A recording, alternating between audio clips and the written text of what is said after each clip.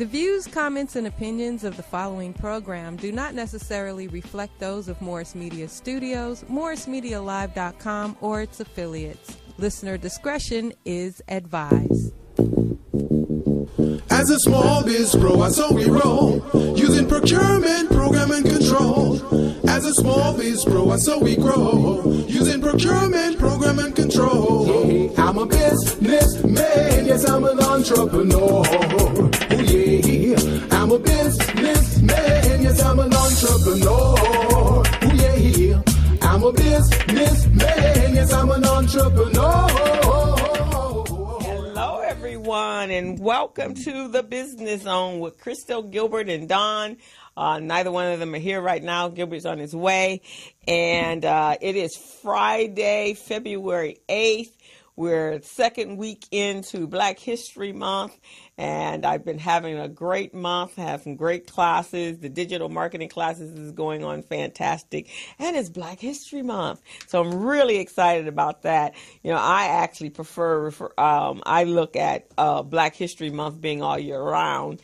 Um, but you know, if they're gonna give us a month to actually celebrate us and it's all highlighted on us, I'll take it. I'll take it. So today we're gonna t- uh, we got some phenomenal guests coming into the studio today. I have Mr. Michael Lawson from the CEO and president of the Los Angeles Urban League, and I have Miss Shawn White, who is a corporate attorney, and we're gonna talk about Black History Month and the economic um, status of the Black community and what we need to do to to make our community that much better and and really get us moving. I'm excited about that. Uh, you know, I, we're at a place right now where it's about us and and about nobody else. We got to take care of ourselves. So I um so we just got to do what got to do, and we got to start coming together to do that, and not waiting for someone else to do that. Uh, but while we're waiting for Gilbert to come in, I want to do some highlights on um, Black History. Black History Month. And so, as of last week, I did uh, highlighting our women who've done our first, who've done some things and broke some barriers and and just became the first women, and they were pretty powerful. So today we're focusing on those uh, individuals that were black innovators and inventors. And some of them I didn't even know about. And I think I'm pretty good at research, but you know, some of them are, you know, there's, we've done so much in our history has been hidden from us for so long. And thank God for the internet because the internet has brought all our stuff right there and open. That was probably the worst thing they could have done was created the internet and allowed us to have access to it because now our people are waking up and they're learning new things about themselves and hopefully it's empowering them uh, to go out and do some fantastic things on their own recognizing that we did not begin when they stole us and brought us to the United States and to America. That's not where we began. We began way before that time. But we're going to talk about the ones that actually helped make America great and uh, some of this stuff I didn't know. I it was actually kind of interesting. Uh, a lot of it is actually pretty interesting. So we're gonna. I've discovered 14, or I found information on 14 black innovators and in in um, um, inventors that created some stuff that you and I use every single day. And who knew that this was created by black people? But I'm so proud of our people because we are very, very talented, very skilled, and uh, they just told us that we weren't, but we really are. So the very first one up is Dr. Shirley Jackson. She's an American physicist, and she received her PhD from Massachusetts Institute Institute of Technology in 1973. She was the first African American woman to earn a doctorate in nuclear physics at MIT. And in addition to her length of academic achievements, she also has impressive uh, has an impressive number of inventions under her belt. So one of the things that she invented uh, was she paved the way for numerous developments in telecommunications space, including the touch tone telephone, the portable fax, caller ID, call waiting, and fiber optics cable. And today, Dr. Jackson is the 18th president of Rensselaer Polytechnology Institute in Troy, New York. So our guest actually may know of that because um, she was out of New York. Um, our next inventor is Mr. Lewis Latimer. And Lewis he is a inventor. He ate his, he was born in 1848 and died in 1928.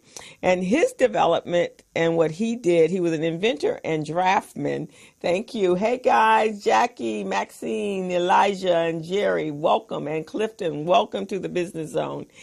Um, so, what did he invent? He was an inventor and engineer. Lewis was born in um, Chelsea, Massachusetts on September 4th, 1848, and he collaborated with science greats like Hiram Maxim and Thomas Edison. One of his greatest inventions was the carbon, the carbon filament, a viable component of the light bulb. His inventions didn't stop there. He worked with Alexander Graham Bell. Uh, Latimer helped draft the patent for the Bell design for the telephone. His this genius also designed an improved a railroad car bathroom and an, and the early air conditioning unit. So next time you want to escape from a hot day, realize that uh, Mr. Uh, Mr. Latimer it was uh, helped you do that. Our next uh, person is Maria Van Brittan Brown. She was born in 1922 and she died in 1999. Uh, did you know that the first home security was invented by a black nurse? Uh, that's Miss Brown. Although she was a full time nurse, she recognized security threats to her home and devised a system that would alert her of strangers at her door and contact relevant authorities as quickly as possible.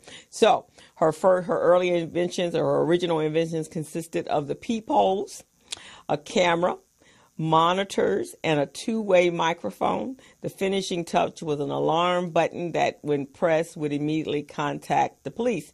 So that's actually the ADP system, isn't it?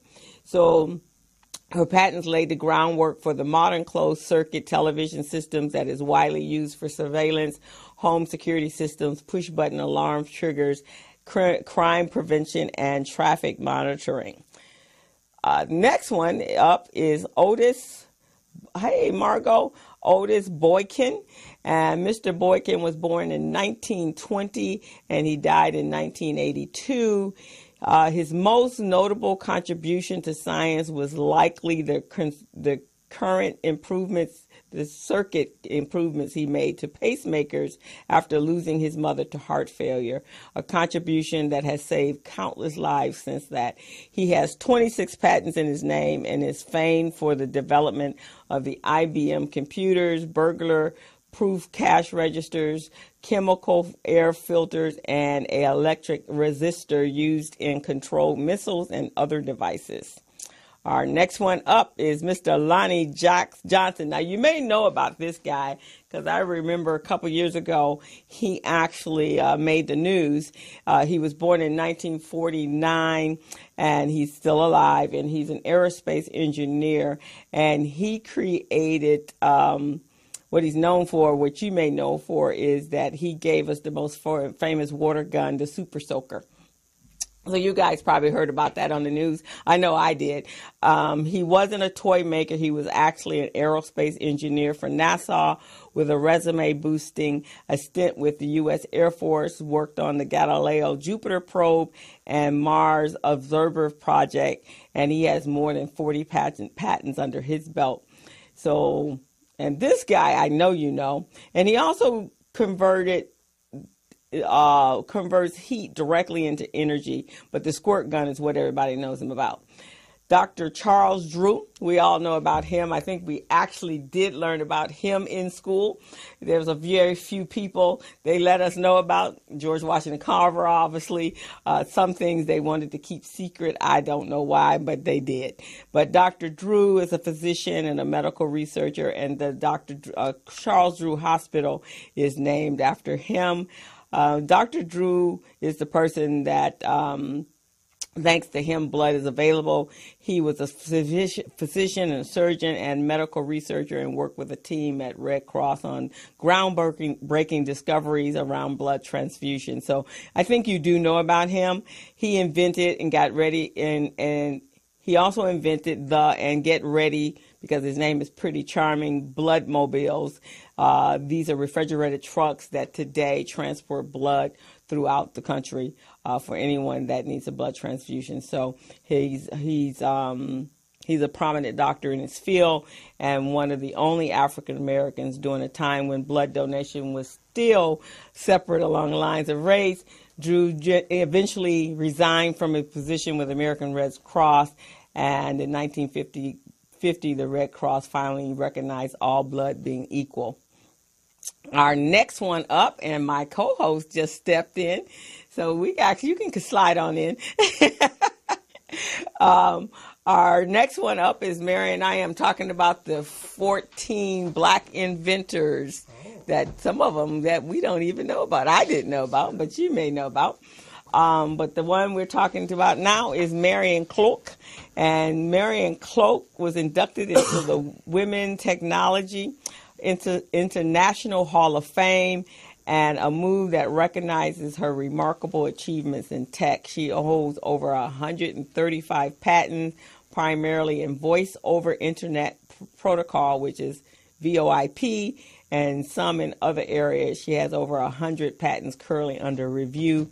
Uh, today, she's the SVP uh, at AT&T and serves as a mentor for women in the ATN labs and sits on the board of the Holocaust and Genocide and Human Rights Educational Center. I think we deserve to say her name again. Her name is Marian Croak. Marian Croak. C R O A K. Never C-R-O. heard of her, have Never heard of her, but you know what? She's phenomenal. She's phenomenal. She is phenomenal. and see, a lot of us probably thought that that uh, internet uh, video IP stuff wasn't done by her; it was done by someone else. I'm sure we did. Maybe someone in a foreign country, right? Yeah, probably. And, and, you know, right now, a lot of people I know. We just at my home, we just switched over to a VoIP system. Yeah. And who knew? I'm telling you, and uh, it's been out there for a while. It just wasn't getting the the kind of recognition that it deserved. Yeah. But s- slowly but surely, see, what happened is this system, this method of communication was out there for a long time, but no one really knew about it until companies like uh, Vonage and others start incorporating right, that. exactly. Then we start hearing about it, and people start thinking that was the first time it was about. But she invented yeah, it a long time ago. She did that ago. in nineteen in two thousand three. Let's see, when did she do that? Um, it was probably her yeah, that did it. That's what I'm saying. That's her patent. So yes. she's probably, but nobody's ever mentioned that that no was a woman. It. Just, Even when they talk about women in tech, they won't talk they about never. It. I've never heard this name. And that's why we wanted to repeat her name again. Yeah, because yeah. I've never ever heard her name. Another young lady. Her name is Lisa. I'm gonna. I'm gonna attempt to say her name. Her name is Lisa Gel. Gelobter. How, how do you spell it? G E L O B T E R. I guess it's Gelobter. Gel, okay. gel Gelobter, I guess. Zopter, yeah. So she um, invented the genesis of animation on the web. Wow. See, we do those we do those animations all the time, and we don't know where they're coming from. Right. So this. The, I got one on my commercial. Yeah, the the GIF. Yeah, That's yeah. her. This is her invention. Wow. And she was in, um, involved with the advent of Shockwave, a technology that formed the beginning of web animation. She also played a major role in the emergency of online video, later serving on this as a senior um, management team at Hulu. Uh, Lisa was an interim head of digital for BET Networks and ran technology, product, and business or operations. Today, you can catch her at the White House at the United States Digital Service, and she's currently serving as the chief digital service officer with the U.S. Department of Education. I think we need to post these great innovators on our website. Well, you know what? I actually created a video. Hey, that's what I'm talking so about. we're gonna you- put that up today. I'm head of the game. of the game. so, but who knew that, right? Who I mean. I just started Who using knew? grist of those when you're when you're on Facebook. Yeah. You get to they do all those animations and Yeah. all that kind of stuff Yeah. when you want to do a comment and, Right. And and you hear something ridiculous Yeah. and then you come up with like what the hell and then you have somebody saying what the hell. Wow. I had no idea. that's amazing. So, no idea. Amazing. And now our next guy, his name is Philip, e, and I assume he must might be African, maybe. Is Emilia E M E A G W A I uh, L I. So I'm going to call him Emer, uh, Emergy Wally, somebody like that.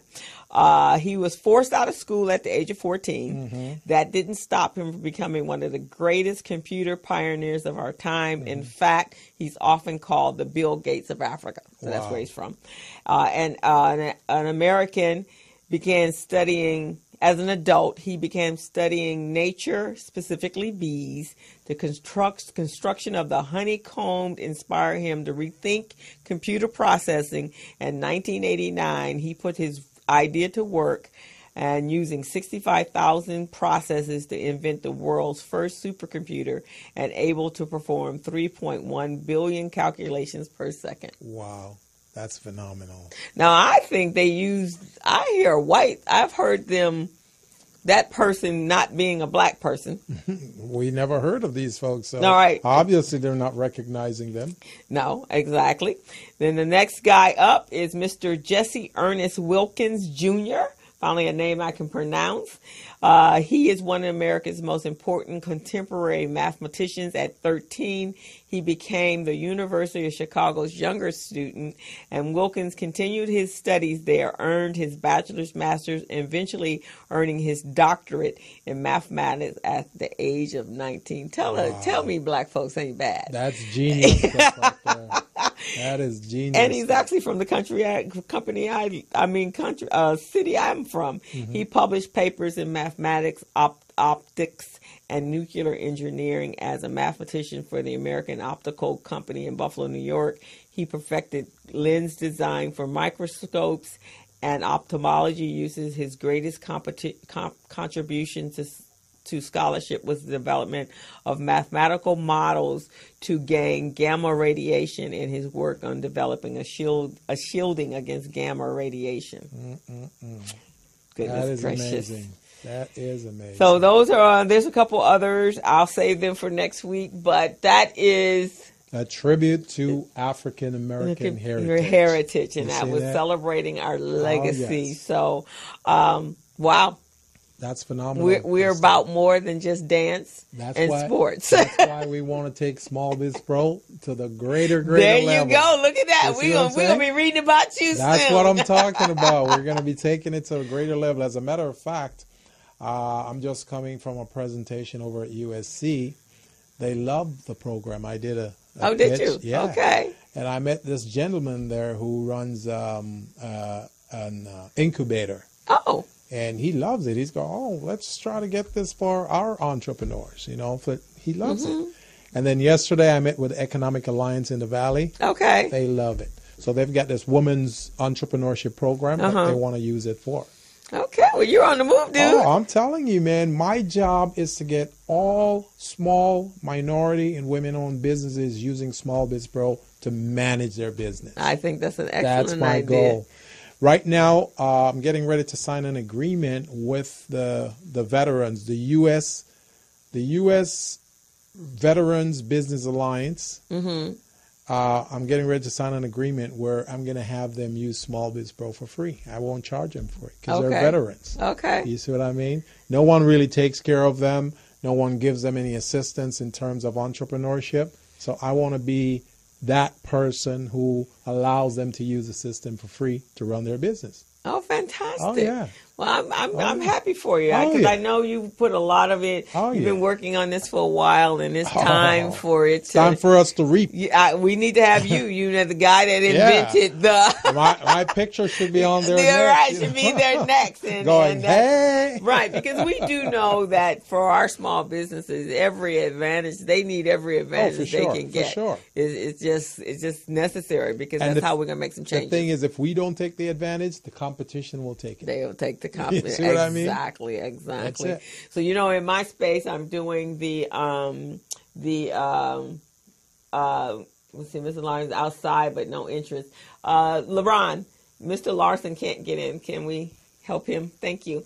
Um, the digital marketing class. So we did something a little different. We are Mm-hmm. Yeah. actually reconstructing how our people think. Very think. good. Very good. And so they are. Um, uh, we actually had an online class. Yeah, they told me. They told me there was going to be one.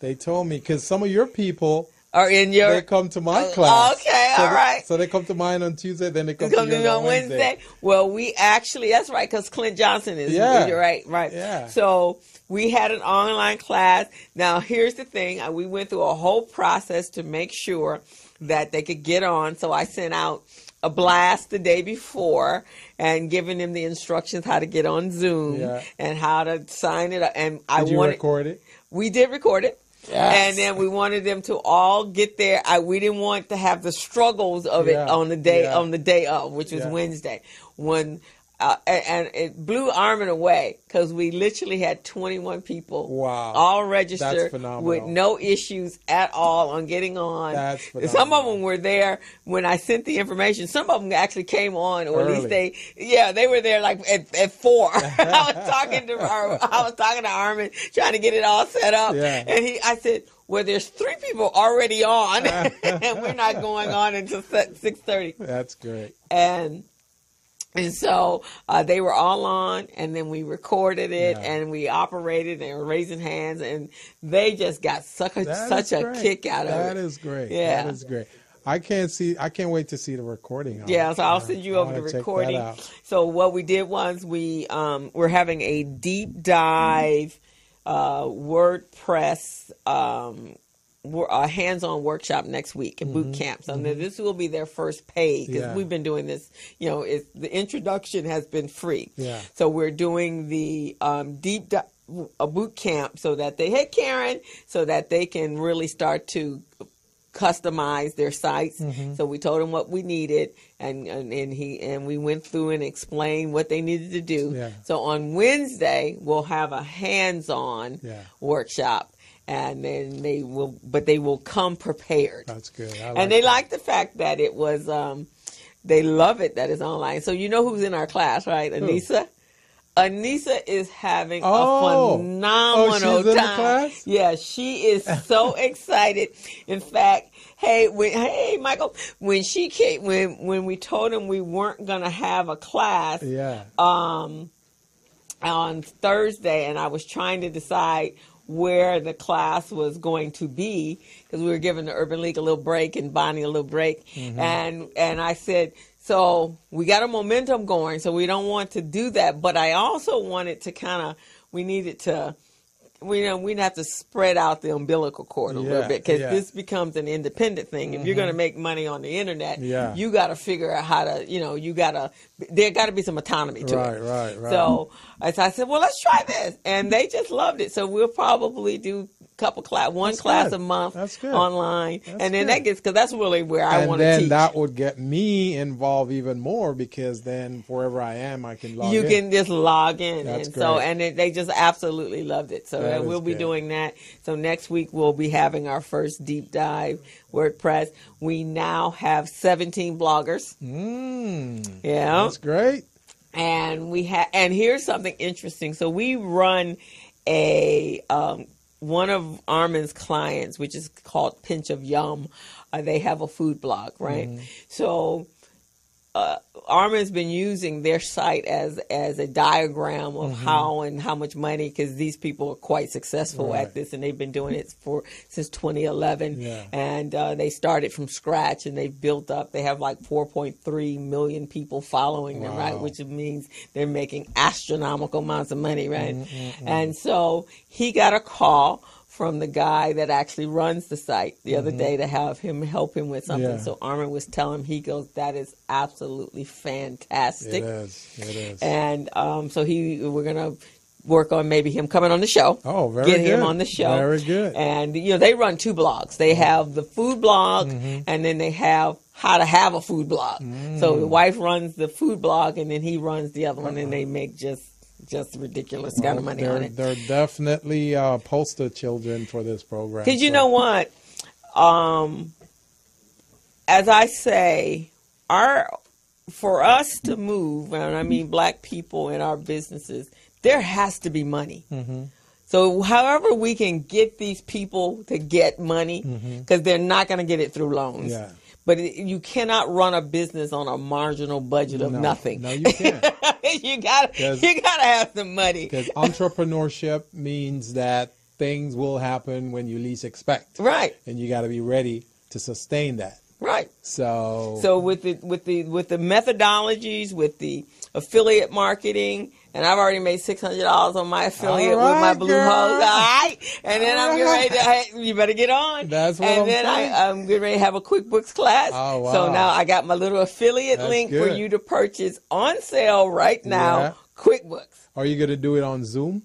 No, I'm going to actually do that one in person. Ah, okay. Yeah, I, I think for QuickBooks it has to be In person. in person. But I'm I'm doing an accounting class right now at the Urban League, and it we got two more weeks, and I'm going to start doing that one online. I think that one will work online. I think that's an excellent idea. I know we got to go to a break here. I've got about a minute of that.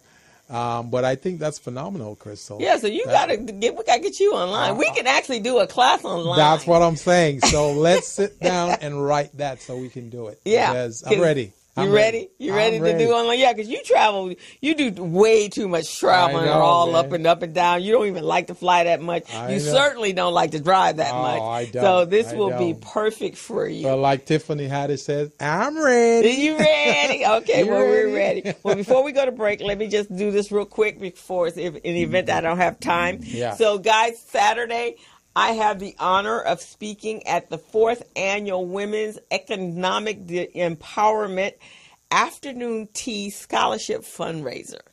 So, I'll be speaking there for- at 11 tomorrow, and it's uh, tea. And so the ladies are coming in in tea.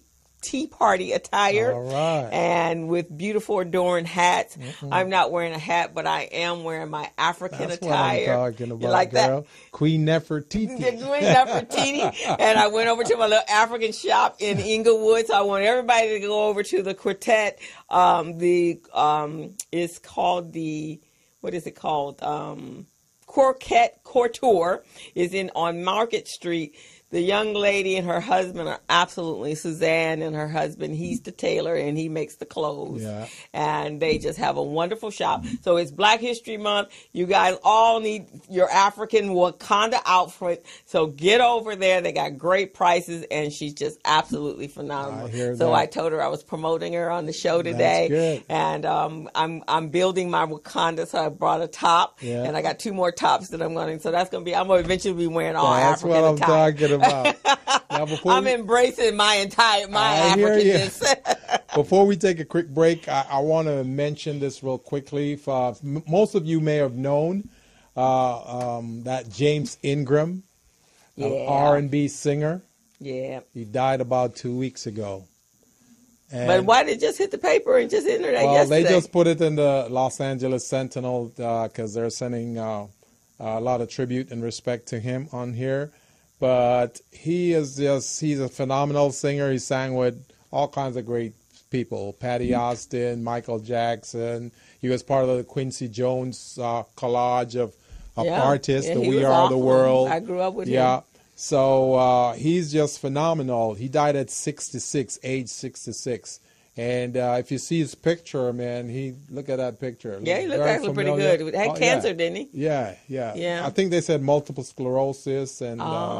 uh, uh, another uh, muscular problem. But these are things that are uh, attacking our community, Yeah. and we need to be aware of these things. We need to pay attention. We get a little symptom, we need to uh, we need to jump on it. I was having a lunch meeting earlier with uh, uh, a sister from the CDC, Mm-hmm. and um, she said she was going in her car yesterday. She opened the trunk. You know those automatic trunk that goes up and come Mm-hmm. It down. Came down, hit her in the head, Oh my God. and she just started feeling dizzy. And then all of a sudden, she wanted to sleep. I said, "No, don't go to sleep. Oh, 'cause she had a concussion. yeah." And now Oh. she's feeling it more today. oh, she so- needs to go to the doctor. That's exactly what I told her. But things like those can take us out. So we really need to pay attention. And, uh, you know, that's part of what went on here. So I just wanted to send some, you know, much respect and big ups to this gentleman. Uh, James Ingram is phenomenal. Yeah. And he's a fabric of the African American He uh, is for R and B. landscape. Yeah, Yes. he's really, really yeah. That's uh, and and we got to take care of some other stuff. Uh, you know, Yeah. we got a big. I got to take care of me too. Yeah, you got to take care of you because you don't do that. But the I other thing don't. we don't take care of is what happens when it's time for us to leave. So there's Yeah. a big thing going Yeah. on on the internet right now, and we can talk about it a little bit when we get back with uh, B. Smith, that was the restaurant here, and her husband is doing all kinds of crazy things. But it turns out.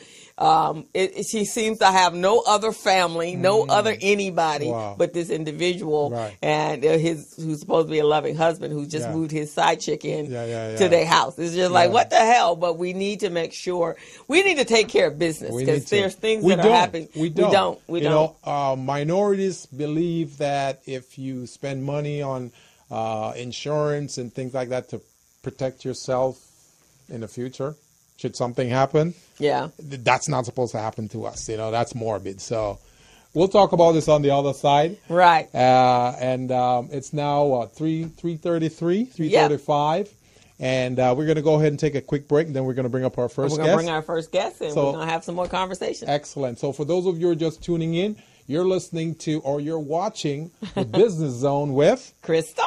and Gilbert Buchanan, your small business paramedic. Take a break. Hello, meet Larry. Larry is a general contractor.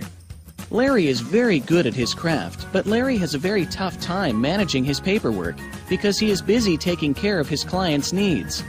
Larry just cannot find his important business documents when needed.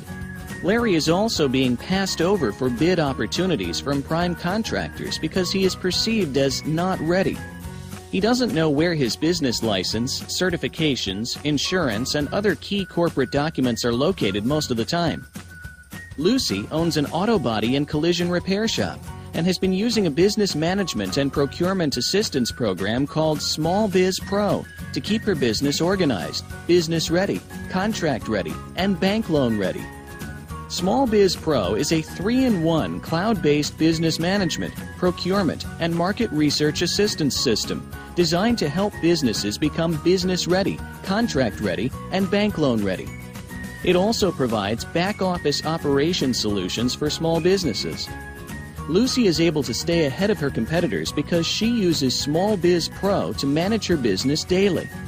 Lucy just clicks on Small Biz Pro from her tablet, mobile phone, laptop, or any internet accessible device for data retrieval, and she's got it. Lucy introduces Larry to Small Biz Pro, and now Larry is more organized and can now find all of his documents and new bid opportunities in seconds. Larry now saves $120 in labor costs for each missing or misplaced document. Just simply go to your web browser and log into smallbizpro.net and register today for a limited 30 day free trial offer. Services start as low as $1 per day. Let's put the competition out of business. Small Biz Pro. If you stay ready, you don't need to get ready. Register now at smallbizpro.net and begin saving money. Email info at smallbizpro.net or call 626 533 1186.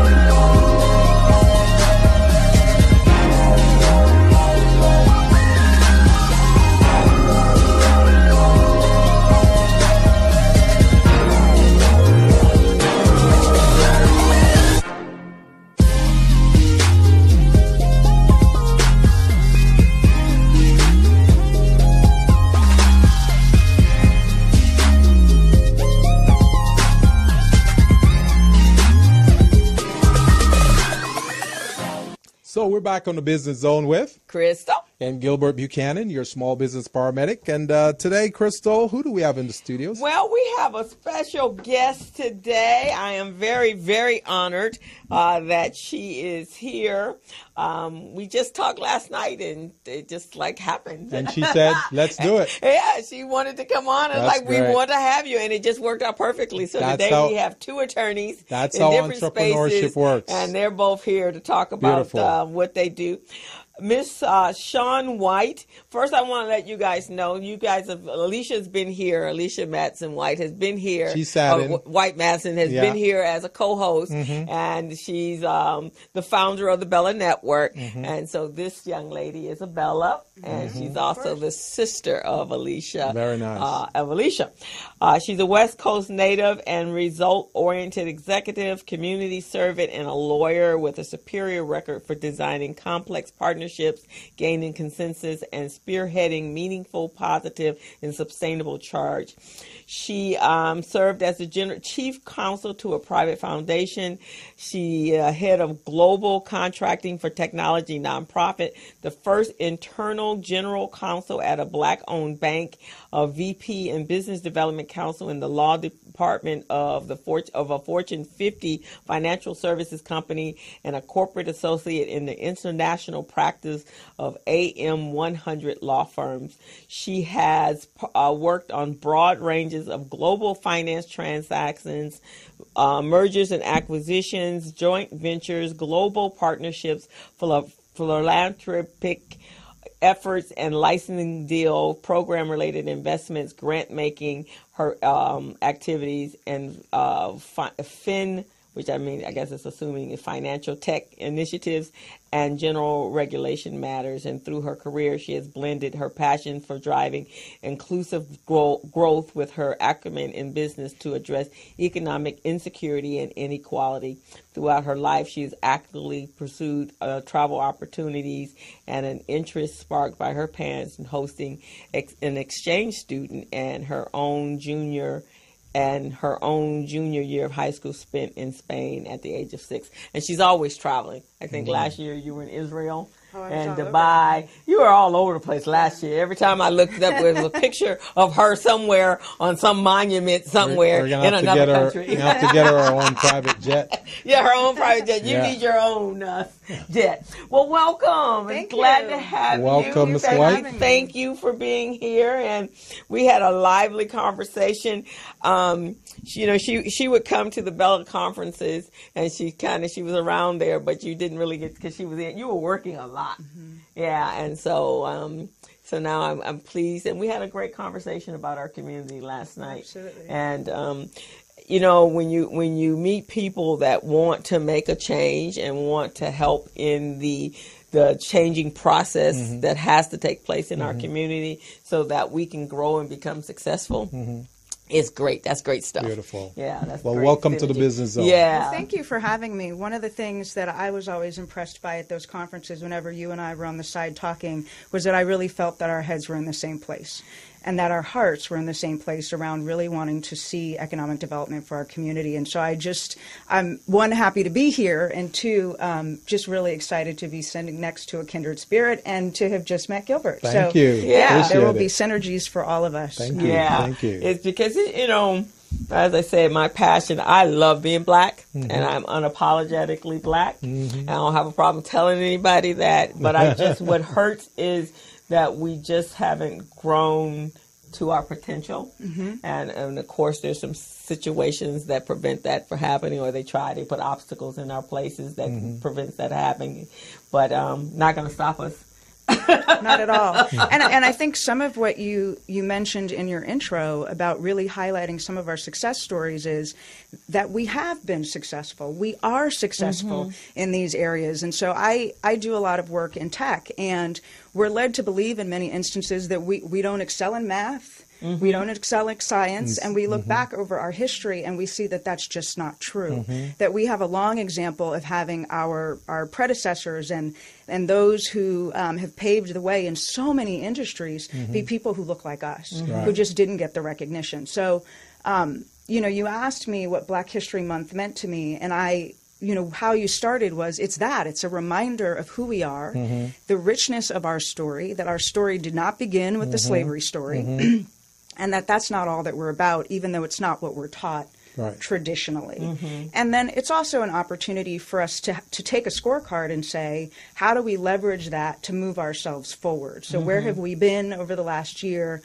Where are we now? And what are our challenges? And what are the opportunities that we can take advantage of in the coming year? So, yeah, again, happy to be here. and it's Yeah, a continuation of telling our story. That's Mm-hmm. really what uh, Black History Month and year is all about. Mm-hmm. Continuously tell the story because one of the things we recognize in marketing is that consumers you don't really hit them until they get the message at least seven times. Mm-hmm. Seven times. You got to keep hitting them with the same message because the first time they hear it, oh, I've heard that before. Mm-hmm. Oh, I'm not mm-hmm. interested. Oh, I'll get to it later.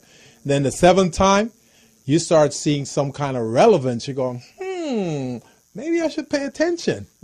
Yeah. You know, and then after you start doing that, then they start paying attention and start uh, um, accepting it. So we got to keep telling that story. Well, that's actually, again, when it comes to what this month means to me Mm-hmm. in terms of some of the challenges that I'm trying to tackle in my own personal work. Yes. And um, again, you mentioned I travel a lot because a lot of what I do has been being part of an international practice at a firm and Mm-hmm. doing development deals and, um, uh, you know, really having an opportunity to see where dollars go and come from Mm-hmm. Yeah. outside of this country Yeah. and all of the opportunities Right. that we have when we think of our marketplace Mm-hmm. and our consumers and our contracting way beyond the United yes. States in Oh, terms of scope and scale. Oh, yes. And we we are respected. The the black community has, and we don't necessarily realize this in many Mm-hmm. Right. respects, a reputation around the world that is not exactly the same as what it is here in this country. Mm-hmm. And so we are. Uh, we are viewed as ta- you know trendsetters, uh, tastemakers all over the world. Oh, yeah. And there are um, you know industries in Asia and and and uh, and uh, Africa where we are being modeled, emulated, and really respected. That is So- true, so true. that's that's just one of those things that ends up being really important. But one of the things that I see is that we we are focused on our development again as being something that happens here local, um, and we really need to broaden that focus. yes. yes. Yeah, I think so. In fact, you know, when I, I do a lot, I watch a lot of international uh, movies, and when you look at Africa, uh, you see us. You see them emulating. I saw a video yesterday that they were emu- emulating to a T Michael Jackson and Nero. Mm-hmm. I mean, it down to the babies. Yeah. And I'm like, wow. But we don't know that. But Right. again, it's because the information doesn't you know we just we're in our little cubicles so mm-hmm. to speak our little silos and we don't see a broader world we don't even know something exists outside in some cases four blocks from where we're Well, live not only that, they've got this propaganda campaign going on. So others will hear the negative or the not so true stuff about us and they think it's true. So that's why we got to tell our own story. Mm-hmm. Absolutely. We cannot allow others to tell our story for us. Mm-hmm. Won't be the same and it won't be factual. no So- uh, exactly which is you know one of the reasons you know this is one of the reasons we started this show um, was because one i wanted to keep recycling black dollars in the forefront of everybody's mind Absolutely. and then two um, i think I don't care how many times we repeat it. And if we keep repeating it and it's recorded somewhere, and we can keep reblasting and re uh, introducing people to that information, I think it's so important for us to be able to do that. Right. Um, every now and then we'll we'll boost the show on um, in Africa. You know, I'll Mm. put it on, on Facebook, and we get. I think I boosted the show last week, and it got like sixty five thousand views. Phenomenal support. Yeah. They love the business zone. they love it.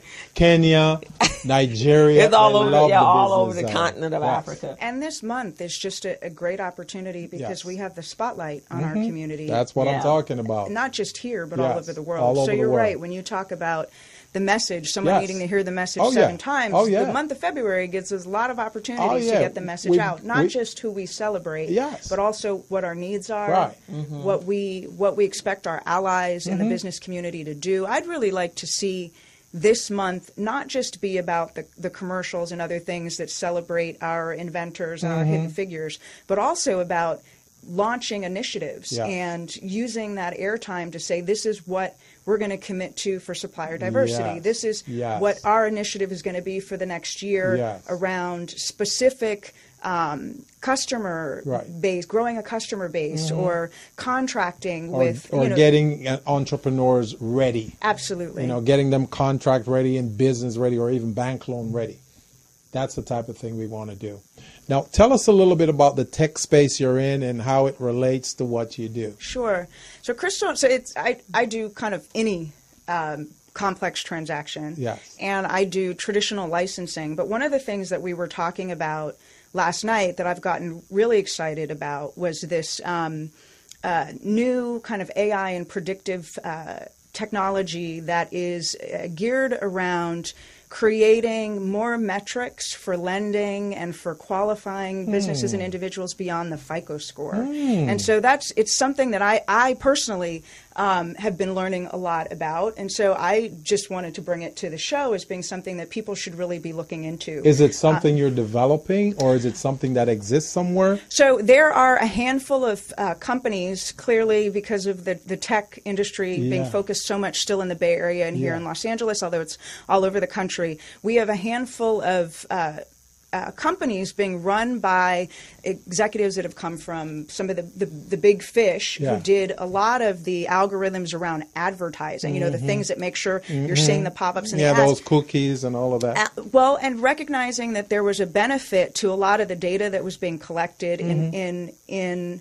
the financial service space. Yeah. So that's what I mean when I when I say fintech. It's this idea that computers can, in a very brief period of time, go out and gather tremendous amounts of data, and if we can utilize that data, we can find ways to better predict or to, to add elements of um, of uh, help around qualifying businesses where maybe or, or uh, in entrepreneurs where maybe the FICO score is not something that's serving them.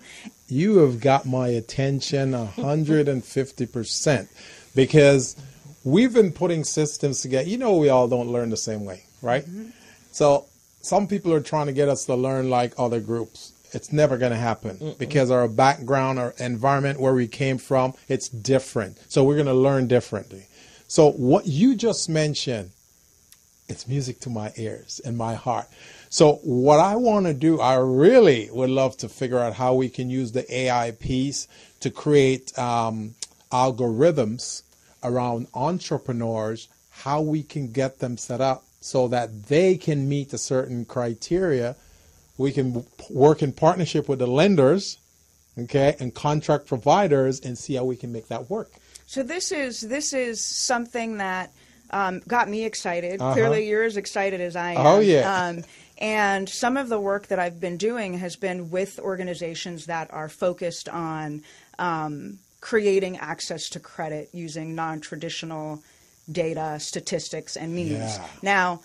I think that's exciting for our community because, like you said, it's not just about how we learn; it's Mm-hmm. Right. about how we get categorized. Oh, yeah. Oh, yeah. Um, and there there are other indications of success Mm-hmm. Yes. beyond that credit score. Yes. And if we rely on that, then we're never going to see the gains for black businesses Right. here in LA or, Right. or across the country, potentially because of a whole host of other social economic issues that we can't get into in detail right, Right. now that um, have it so that the traditional means don't serve us. So, So I'm going to throw something out there right now because this is an experience of mine. I, I dealt with a small business recently, and I found this out.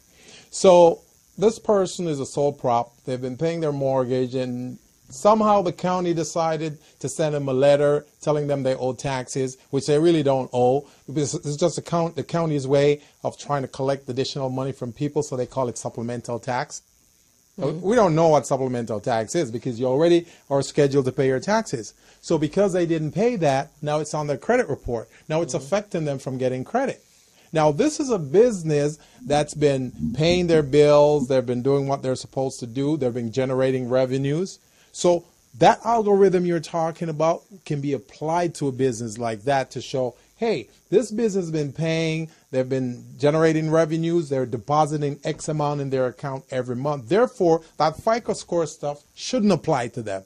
Another method should. So I'll I'll put on my my corporate lawyer hat, which says they should really hire a lawyer and and really look into protecting their credit score. So Yes. one of the things is until we get to a place, and the AI is is about more than just statistics that relate to them as an individual. It's it's it is it is copious amounts of data Mm-hmm. that are predictive around. Um, communities in, in, a, in a very different way Right. that says, you know, how do we identify based on trends in a community who's Mm-hmm. most likely to pay and repay and who's invested in their business and other things. But um, on the credit protection, Mm-hmm. we all know that until we're in a different place, Right. it, I, you know, it, it would not be prudent for me to not say Mm-hmm. Right. in that instance that the person should seek counsel Right. because if there was a tax liability that was assessed that was not um, relevant or Right. didn't apply to them, Right, right. then and I'm not a tax attorney, but they they that, those are things you should fight. Exactly. And I and I will say I have zealously Mm-hmm. protected my own credit because until we open up our minds, that is really the access and path to a lot of things for a lot of us. Exactly. But one of the things that I, I did want to raise that we talked about last night is that I want us to also get innovative around the types of partnerships we ask Mm-hmm. for. So I was having a great conversation with um, a woman outside of Baltimore who is just a superstar rock star in the social investing space. And one of the things we kept saying was there's a focus on capital, and we know that capital is necessary, mm-hmm. right? And we mm-hmm. know that there are mm-hmm. challenges around that. Yeah. But one of the things that really is, it's sort of that give a man a fish, he'll eat, teach him how to fish, Yes. is that one of the other things we can really look for, and this is where I say my background is in complex partnerships and um, and joint ventures and things Mm-hmm. like that, is how do we say, well, give us contracts, Yeah. you know, give us commitments Yeah. for something long term Right. Mm-hmm. in terms of your supplier diversity is one area or in other in uh, other areas Yeah. that allow us to then leverage those contracts for Right. capital Right. Mm-hmm. in, in the long run and grow and build our businesses. Give us commitments to um, branding that allows us to have access to customers, which Yeah. is another long term. Not not the capital today, but it's the long term. We're growing the customer base. We're, we have contracts that we can rely on, Mm-hmm. so that we can staff up our business over a mm-hmm. three to five year time period Right. in a way that is meaningful and mm-hmm. allows us to mm-hmm. forecast out what we can do in our community. So it's if somebody and I always say if somebody's not willing to write you a check, get them to commit to something. See, and and you're singing the same song we've been singing on this show for three years now. We're trying to get small businesses not to just focus on transactional business mm-hmm. because transactional business customer comes in today you take care of them. They may not come tomorrow not next week not mm-hmm. next month. So you don't know where that revenue other revenue is coming from. But contractual business now mm-hmm. you have a contract for at least a year two three years you can you can budget you can do projections you can do all of those things you can hire people And you can market on that. Yes, Right? So yes. that's been something that's been important to me wherever I am is finding a way to utilize and create long term opportunities for us to work with black businesses that allow them to then go out and say, provided that we're ha- we're happy to make the referral, but that we're Mm-hmm. we're making a referral. So if we believe in those businesses, then we should believe in their growth. Crystal, you have found a gem. I know. You have found a gem. She she is singing our song. I know. That's and, what we're and about. She came out of corporate. She's from corporate America, so she understands how you scale that Yeah. business. And I and I've always said that, right? Yeah. I, I started in corporate America. I knew what my exit plan was, but you have to be there because you understand something different. And and Shawn and I talked last night. So after the recession, everybody's credit was in the toilet. Yes. But why did everybody else rise and we're still there? Everybody Mm-hmm. That's what had I'm to redevelop, about. right? Everybody had Yeah. to recreate Yeah. themselves. Absolutely. And that FICO score, everybody was white clean at that point. Yeah. But why, as black people, are we still there and stigmatized Mm-hmm. That's what I'm by talking that? Where you had corporations. I mean, look at the number of corporations that are bankrupt. Look Yeah. at the president, for that matter. right. And, she and I talked about Yeah. that. He's bankrupt six companies, but he's still able to go get loans That's some- right. from somebody. That's right. So That's right. we have to change that mindset, Right. or at least develop other oper- uh, uh, lanes or paths for us to operate in. We and it has to come up here so that we don't feel so um, demoralized. And, and I shared with Shawn that uh, you know over the years since being the director co-director of recycling black dollars i've been to a number of uh, capital raising capital or there's capital abundant capital out there for everyone. And as the banks are having this conversation and they invited everybody they had all of us all the cbos bring all their people and everybody's excited because oh wow finally somebody's going to give us some money right? Mm-hmm. And you get there and they're talking about all these wonderful programs and mm-hmm. all this money out there mm-hmm. and then they get to but it's all predicated on, On your, your FICO, FICO score, score. right? And all of a sudden, and I don't even know if they notice it. The it's just like goes out of it's the just room. the it goes out of the room, and they and their shoulders uh, drop, and because they know that they're being unfairly evaluated. Right. Because those requirements, it, it, it doesn't work for them. And that's why, as an economic development entity, part of my evaluation criteria wouldn't be FICO. It would be that company's ability to repay. Because many of these small businesses, they're generating revenues, they're paying employees, they're paying their vendors, mm-hmm. and they have money left in the bank.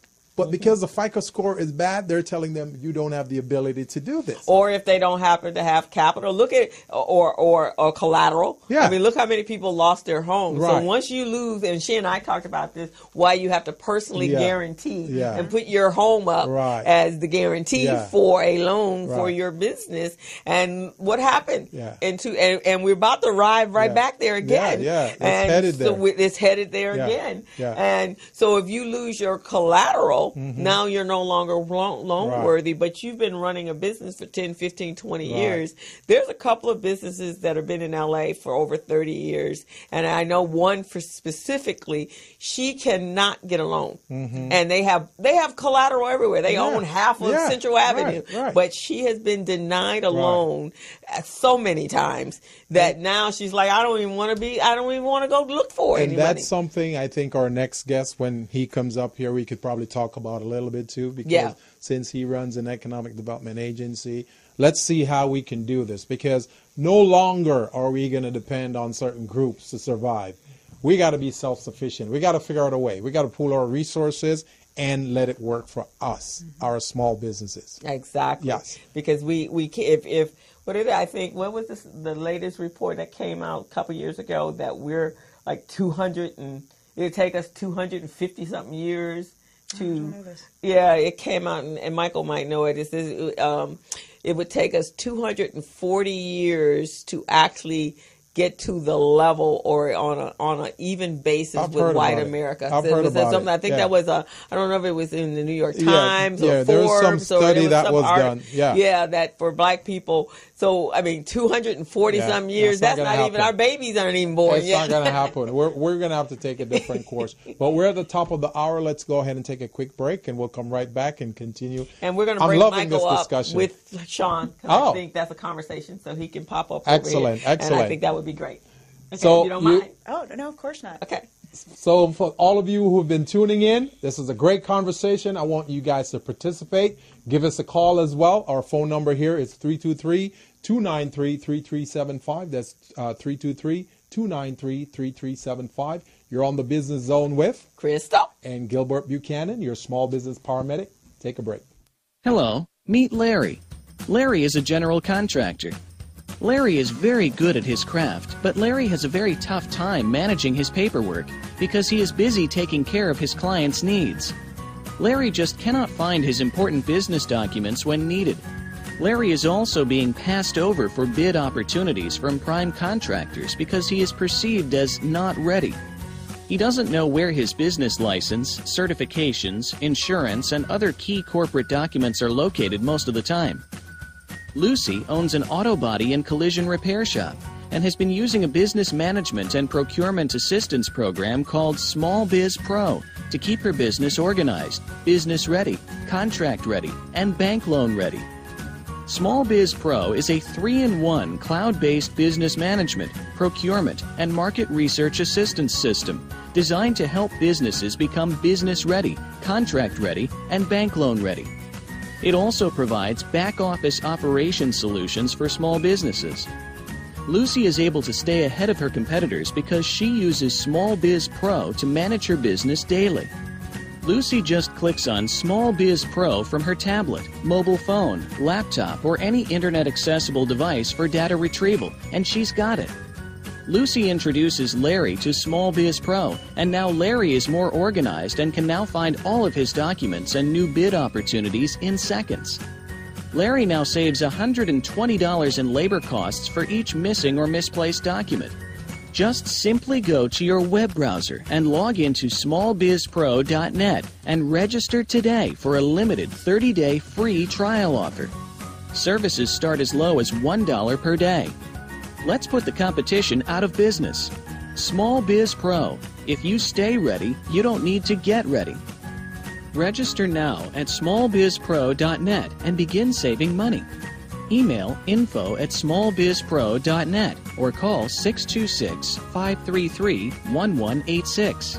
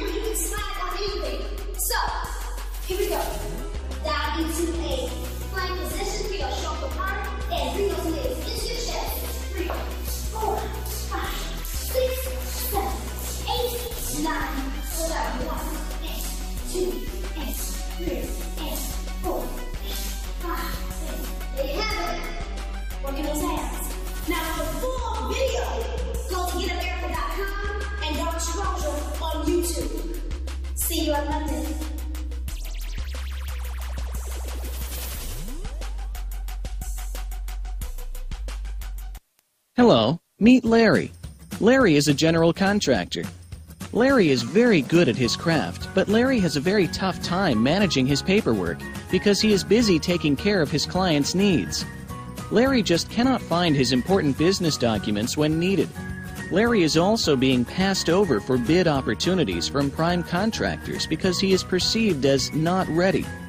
He doesn't know where his business license, certifications, insurance, and other key corporate documents are located most of the time. Lucy owns an auto body and collision repair shop and has been using a business management and procurement assistance program called Small Biz Pro to keep her business organized, business ready, contract ready, and bank loan ready. Small Biz Pro is a three in one cloud based business management, procurement, and market research assistance system designed to help businesses become business ready, contract ready, and bank loan ready. It also provides back office operation solutions for small businesses. Lucy is able to stay ahead of her competitors because she uses Small Biz Pro to manage her business daily. Lucy just clicks on Small Biz Pro from her tablet, mobile phone, laptop, or any internet accessible device for data retrieval, and she's got it. Lucy introduces Larry to Small Biz Pro, and now Larry is more organized and can now find all of his documents and new bid opportunities in seconds. Larry now saves $120 in labor costs for each missing or misplaced And we're document. back on the business zone with Crystal. Gilbert Buchanan, your small business paramedic, our very special guest, Miss. Shawn White. And uh, we've got a new guest on stage with us, which we're really, really are welcoming here today. And Crystal, who do we have here on Oh, stage well, with us? actually, it worked out perfectly because we actually have two attorneys All right. on stage today, but that both of them have uh, extensive corporate background. Mm-hmm. Um, but this um, gentleman here, you know, Urban League is really close to my heart, and you know Mm-hmm. that I've been doing a lot of collaborative work with them for the last. 10 years as long as I've been the co-director of Recycling Black Dollars and I love the Urban League. And um, but today we have the president and CEO of the Los Angeles Urban League. Uh, he's currently serving uh, they're one of the oldest and most respected civil rights organization in the United States dedicated providing economic empowerment educational opportunities and the guarantee of civil rights for underserved communities in the Los Angeles area. I began he began his work service as the interim president in November 2017 and was appointed to the president in 2018. In September of 2013, he was nominated to by President Obama to serve as the United States ambassador to the Council of International Civil Air, uh, Aviation Organization, uh, ICAO, a UN specialized uh, agency in a position that he held from July 14th to January 2017. The 36 member of the ICAO Council set the standards and re- recommended practices and policies in support of international civil, civil aviation sector worldwide. Uh, before serving as the, the ambassador, he served on the board of airport commissioners for the Los Angeles airport from 2005 to 2011 and, uh, the president of the BOAC from 2008 to 2011. And during his tenure, the board was responsible for overseeing the management of the systems of uh, airports under its control, including Los Angeles International Excellent. Airport, uh, LA, or, um, Ontario International, and Van Nuys. And from 1980 to 2011, he practiced law at the prestigious international law firm Scanton. Skadden. Skadden, uh, ARPS, Slate, Maj- Mar. Mar, okay, and Flom. Whew. With that, with that being said, we'll just have him tell us a little bit about it. right, right, exactly. and it's a firm, the largest uh, uh, law firm in the world with 1,700 attorneys and 22 offices around the world. Welcome, Michael. Thank you so much for having So me. So pleased to have you. Welcome to the business zone, Mr. Lawson. Thank you so much. Yeah. Thank you so much. You know, the Urban League, as I said, is near and dear. And one of the reasons is that my uncle um, had a career at the Urban League under John Mack, and he actually uh, spearheaded, along with John Mack, the LEAP program, um, which was, I guess, a $5 million program, which um, uh, helped contractors or, or those in the trades get into the trades. And uh, so many of the, the tradesmen, all levels, the reason they have their, their license is because he helped them with the pre-testing. So we're now actually in talks again. My uncle still has that program, been doing that program uh, for a long time.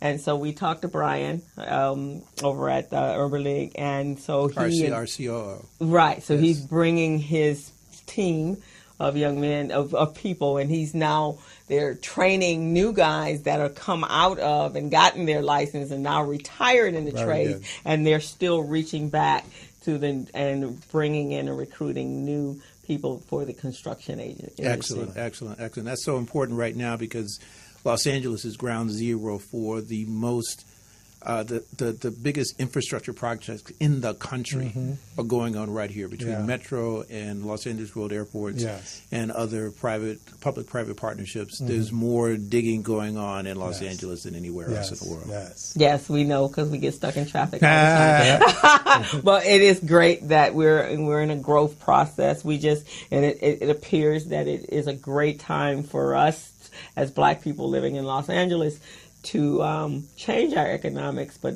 how do we do that? What what are the methodologies? And I- and I think one of the reasons I collaborate is I I know not I think I know we cannot do this in silos. And I know we cannot do this by ourselves. We all have to come together Yes. to make a change for our business communities and our and our families and our children. Yes. Absolutely, absolutely. It- it- you you ask the right question, which is how do we move forward, and not spend too much more time on why we're here because Yeah.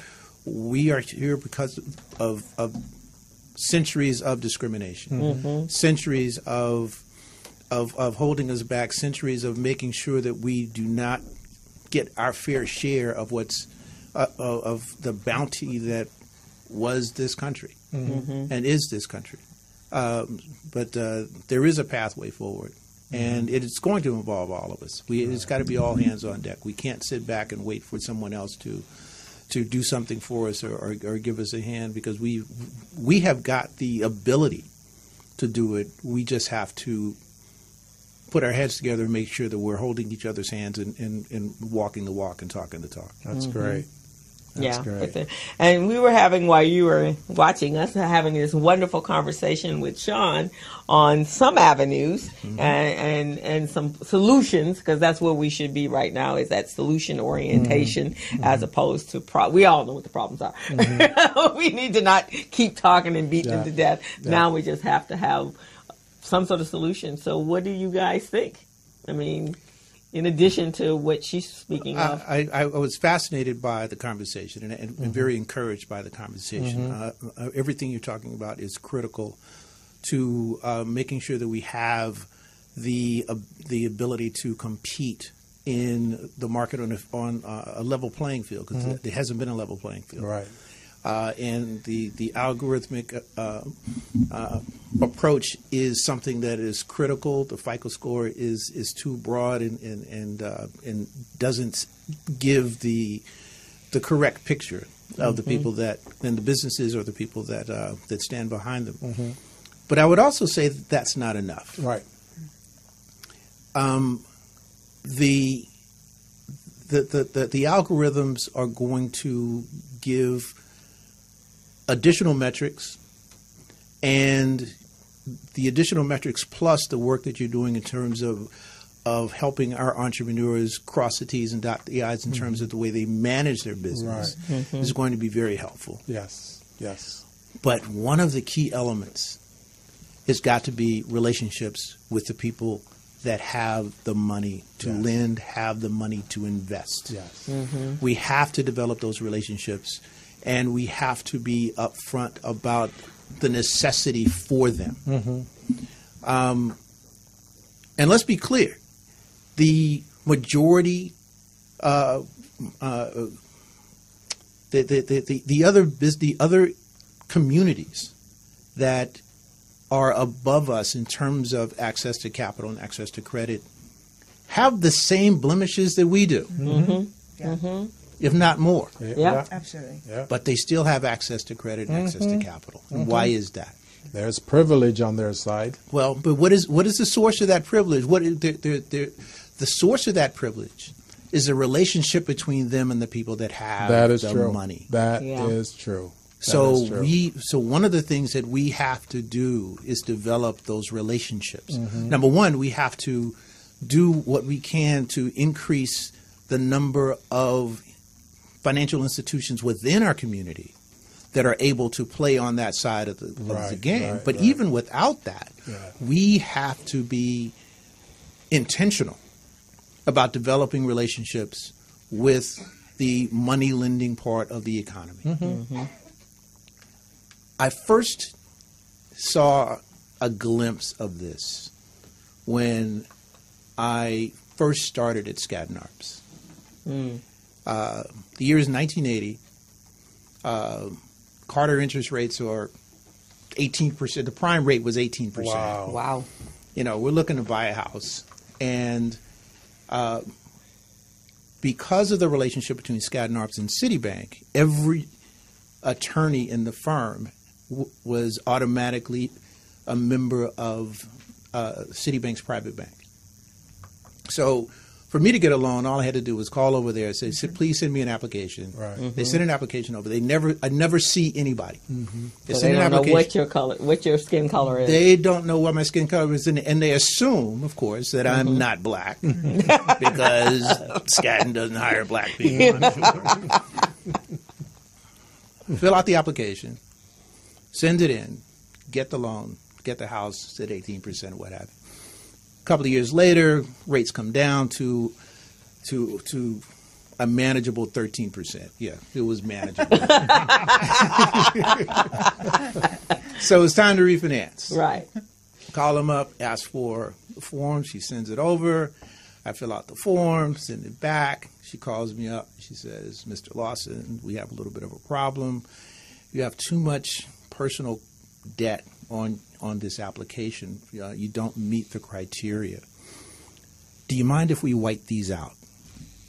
Mm. Wow. So now you're beginning to see the workings of it, how it works. Wow. Mm. Really? Yes. Mm-hmm. Wow. You know, So so so it didn't it doesn't matter for them if they meet the criteria. right, Right. right, right, They'll white it out. right. So let's fast forward to to to 25 years later. Yeah. Uh, I'm now a partner. Uh, my, my sons have graduated Morehouse College. They're uh, investing in real estate.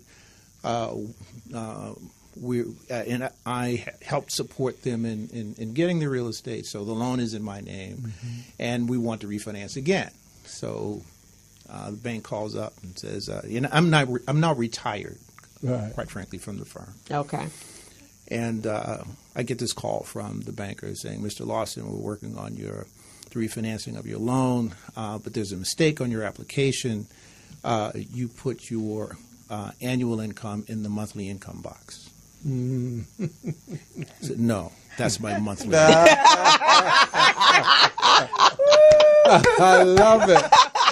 I love it. Just to rub off on you. But he doesn't stop there. oh, well, can we see a copy of your bank statements for the uh, last three months? Mm. Send them those. Can we see the bank Tax statements return. for the for the three months before that? can we see a copy of your? Because I'm retired. Yeah. Right, right, Can we see a copy of your retirement letter? Oh my Sure. lord. Can we see an original copy? Oh, now you don't have this law firm behind. Well, because, yeah, because I don't have a relationship with this particular. That's bank. right. Right. Exactly. So all of my boxes are checked. Check. Yeah. Right. Yeah. And it doesn't matter. Doesn't matter. Wow. It doesn't matter. Yeah. We have to develop relationships with the financial. First of all, we have to build the financial institutions within our community Mm-hmm. Yes. so we don't have to go outside. That's what Right, I'm exactly. talking about. I mean, understand that in this town, it, it, when you when you look at the stats in the Korean community, mm. a dollar that goes into the Korean community stays there mm-hmm. for over fifty days. Mm-hmm. Mm-hmm. And that multiplier effect is why the Korean community looks the way it does. Exactly. Yes. And they also there's a there's a something circulating on social media, and I and I was trying to find it, um, and I think it was a it was an interview, and they were interviewing. I, I want to say he was a Japanese businessman or a Chinese businessman. His name is Chang, and so he was being interviewed, and they were asking him uh, his relation about white supremacy and also what he thought his views on black America. And so he basically said, if you're a minority, you are dealing with white supremacy. Doesn't matter what minority you're dealing, who you are, it just you are. He says, but the way we as Asians deal with it is if you tell us that we can't get a loan at your bank, then we go build our own bank. Mm. You tell us our children can't go to your school, then we build our own school. Mm. Our focus is on our people. It's not that we don't like black people. We just like our people more. Mm-hmm. And we're supposed to. So we take care of our own first. Then we worry about outside. So we don't want our people to be hungry. We don't want them to be uneducated and we don't want them to be successful. So we make sure we give them jobs. We do everything in our own. He says, but the difference between us and them is we do it quietly. We mm. don't have to have mass marches to do mm-hmm. what we're going to do. Mm-hmm. We just do it and we do it together. And that's why we are slowly moving in and they're almost like under the radar because no one's really paying attention to them to do mm-hmm. what they're doing because they're not making any big noises about it.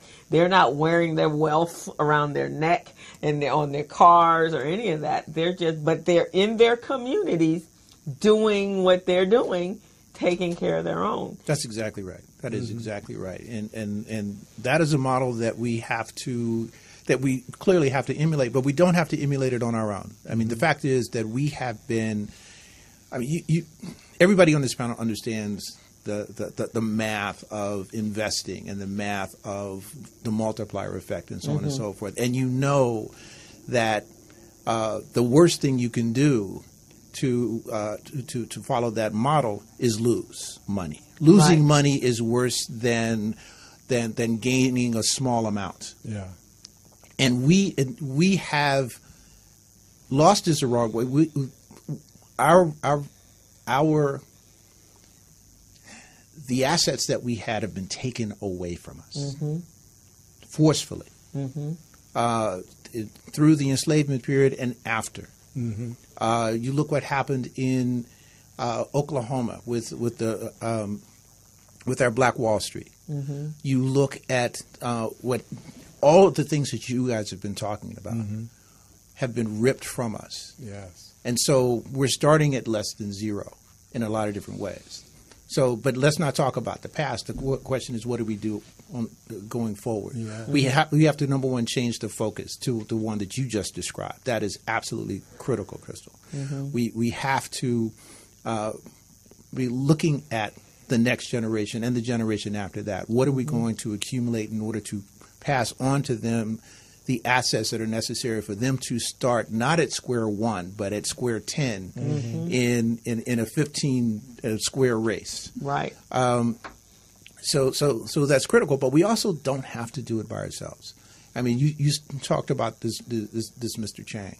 Uh, there are alliances that we can create uh, that will allow us, while we're building our financial institutions, because we have to do that. Yeah. We have to rebuild, and we have, we had them.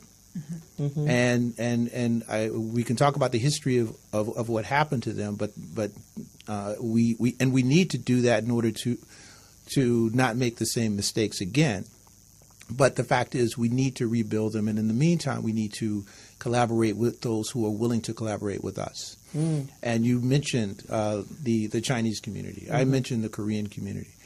Uh, one of the things that uh, that we're seeing within the Korean community is that even though they have been very successful on the economic front, and I applaud them for all of that, they have not been as successful on the political front as we have been. Mm-hmm. There is an opportunity for us to collaborate with them, Yeah. build the relationships mm-hmm. that will give us um, access to credit and mm-hmm. access to capital, and work together while we are building ours Right. and move forward. I, I the, the algorithms, we definitely have to take advantage of that, but we need relationships Yes. with the people who have uh, the resources that are going to be beneficial for us, and we need to uh, work together for the benefit of all uh, underserved communities and, and, and, and understand what we can do to. We're stronger together. There's no question Yeah, about it. definitely stronger if you pull all that together. I would love to just, um, because I served as general counsel to a black owned bank in the Northeast, I have got to carry that point just a little bit further also about how we need to support these institutions so that they don't die.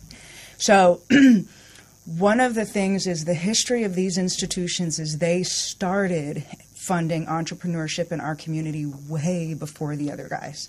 When they were redlining us in the 60s and the 70s, these were the institutions that gave us residential loans, that gave us commercial loans for the funeral parlors, for the barbershop, for the beauty parlor, and they are really struggling after this last financial crisis, largely because they're saddled with a lot of um, new compliance requirements that they face, rightfully so, because the consumer had issues in the last financial crisis that big banks do, and it's hard for them. We don't have, when I relocated here, I realized we have more of them in the Northeast and in the South, but you can live here and have a checking account and do business with a black owned bank in the South, in, in New Orleans. I have a good friend whose father is a CEO of a bank there, and he does business development. The bank I was at is in New York and New Jersey. We've got them in, in uh, Philadelphia, Pittsburgh. We've got them around the country. And if we don't shine a spotlight on them and give them our business, and so many of them in the last, after the last economic downturn, when I was there as a part of a turnaround team, have been trying to build virtual platforms so that they can provide services to our community across the country and around the globe. So they're trying to get into the mobile banking that we see that's really sprouting up in parts of the um, African continent. And we owe these institutions an investment in their survival, even if it's just that you carry a small savings account there that allows them to build up their business base and seek other opportunities. If you have an opportunity to provide them um, payroll processing services or other things that they offer for your business, given the way the internet works and e commerce works, it doesn't matter whether or not they're here in LA, you should still support them. So that's something that I feel very near and dear about. and whenever you're at your other financial institution, you should be asking them, what are you doing to support the community banks that, that lend when you don't? Uh, because large financial institutions can also do joint development deals and and work with community banks and offer them opportunities on very lucrative investments to be a part of that, clubbed into those investments, and all of those things we should be forcing them to do so that our institutions survive. And that's one area here in Southern California where I have seen our Asian communities really do support these financial institutions, and they are here and they're thriving. We don't see them as much, but they are here and thriving, and they really are supporting the communities here. And actually, um, years ago, um, Recycling Black Dollar, when Muhammad was alive, and this when he founded RBD in the 1900 in, in 19, I think it was in the nine- 19 something, he actually had a National Change Bank Day. And so he moved about $4 million from of the other banks to Broadway Federal. And at that time, it was owned by uh, Paul. I mean, it was run by Paul. It still is run by black people, um, and they actually do have a relationship. They they be, they are private. They are publicly traded now, and their relationship is with the Koreans. That's who is actually there. So that's RBD has always had their account at Broadway Federal, um, and there are a number of our communities or black businesses that when Muhammad made that initiative, everybody moved. They're, they're still there. But at this point, you know, a lot of their people have retired. And um, so we really should think about that. And then One United has multiple branches all over, but there's, there's, they're kind of limited in where they lend money. I think they have some sort of criteria. I don't know if they don't do mortgages or they don't do business. I'm not quite sure which one.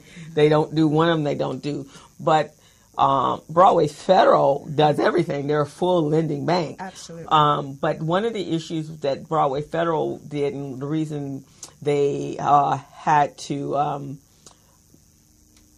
combine their their or, or their services with the Koreans was they were the only bank that actually lended to churches and they got hit hard when at the recession. So they're really starting trying to rebuild from that. But if depositors went over there and we actually embraced them, then at least that's a local black bank in the community or, or it's actually now a community-based bank cuz but prim- primarily their their depositors are black over there. So we have to.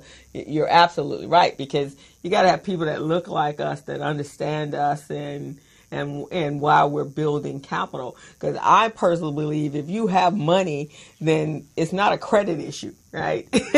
If you can pay your bills, if you have the money, but if you got to move the money around to pay Peter to pay Paul because the the limits are minor. I mean, you got limited resources, then you got to do what you got to do, and, and on top of that, take care of your family. Absolutely, absolutely. The, the, the, the key in what you're talking about is us being intentional mm-hmm. about how we use our resources. We have the resources. Mm-hmm. We spend our money. It just doesn't get spent in our community. Yeah. No, that's the- very true. the- so we so the, my question is when we talk about these black financial institutions across the country, how do we identify them? How do we access them? How do we, what can we do to um, facilitate the type of approach that you just described? Sure. Um, so there, there have been the CEOs of these institutions have been working rather actively with the Office of the Comptroller of the Currency. So there is actually a list of black-owned banks, um, and and I believe, and I can share it with you so that you I think there put it is on. 28 of 38 of them or Um, something of yeah. that nature. But- And, and but a great deal of them right now are um, they were it was 26, and then the increase to the 38 is that One United has opened online banking throughout the countryside. Um, so they're in a lot of the southern states now. They at one point were just here. Their home base is in New York because that's where the owners are. Uh, but they they did a mass um, uh, just right around the recession to expand that to online banking. So they're one of the online bankers. Yeah, and so I, there, go ahead. Go ahead. No, I was just going to say, I think when I talk to people about it, very few actually know how many there are, Yeah. Yeah. and and that they, that they exist. And um, when I say where they are, people will say, "Well, I have family there." I, I don't know if they even know there is one. So that some of that is just knowledge. And Yeah. So um, here's the map. you, do, are you pulling it up? So that Uh-huh. 26 that you're talking about, are they in in uh, um, California, Southern California? Where are Uh, there's well, let's see. One United is the green, so they're oh, it's throughout the country. it's throughout the Oh, country, okay. and then you have your credit unions. And at one point, the churches were. Uh, I want to say that was back in the 75, the 70s and 80s, because I was at Fame at the time. They were even talking about our own credit unions. So I know Cherie Franklin has talked about credit unions because that's some of the things they got to do for the, the cannabis because they can't put their money in federal banks. So they're actually talking about credit unions. So for a while, there was a big push on credit unions, but um, but now, um, but basically, these dots represent, and I think I can find another one that represent the banks across. But we only have uh, one United and Broadway Federal. Yeah, Cal- that's it California. Yeah, and California is- and then but, but that's this historically Yeah. where our populations were Yeah. in large urban centers. You see them in the south and the northeast because that was where we had. Um, but yeah, ca- uh, so, So go- knowing who they are and and going out of our way to find them and to use them. I think going back to Mr. Lawson's question about how can we begin this conversation is an entity like yours, the Urban League, if you can do an invitational meeting, invite most of these guys to a meeting, a session, and discuss how we can establish partnership Yes, with them, them, would be yeah. a good start. Yeah. That would be a good start, and then talk about how we can prepare the entrepreneurs on our side for what they're looking for, bring that merger together, and we want long-term relationship. We don't just want a transactional business. We're looking for contractional business here. So that to me is a good way we can get started on that. I, I agree with that. I mean, basically, we need kind of a, a, a, a constitutional Congress, if you will, to to uh, sit down and and again be intentional about what it is we want to do. Uh, you know, going back to uh, uh, you, when you introduced us uh, at, at the um, in this session, you said two lawyers. I want to make it clear, I'm a retired. lawyer. You're tired. Sorry, but guys, no such thing. no such Yeah, right. thing. It's always in the DNA, right? Always Yeah, sure. Okay, we're human. You're retired. but, but back but back when I was practicing, we never walked into a meeting without having a plan. right, mm-hmm. exactly. So, so I, I agree that we need to have this meeting, but we need to have a plan, plan. going Right, right, going So in. this is what needs to be done, and we can talk about how to do it. Right. We can talk about whether you want to be in or not, but this is going to be done. Yeah. Uh, and there's going to be a core group of people who have already agreed to do it. Yes. And it's it, it, we've got to have a long term strategy for this. Um, you know, the, the the the major gains that we have made uh, in the civil rights area uh, legally and and, and, and, and marching is always have always been done with a core group of strong, uh, intelligent uh, folks who look like us around the table. Uh, saying here's how this is going to work, here's how this is going to run, and and gathering up um, uh, allies to, to, to help us move it forward, and that's what we've got to do. So I would modify your your your suggestion with the fact that we've got to get a, a core group of people who Yeah. are going to sit down w- w- with the knowledge of how the financial services industry works, Mm-hmm. and looking at somebody who was general counsel of a bank on the East Coast. um, and and um,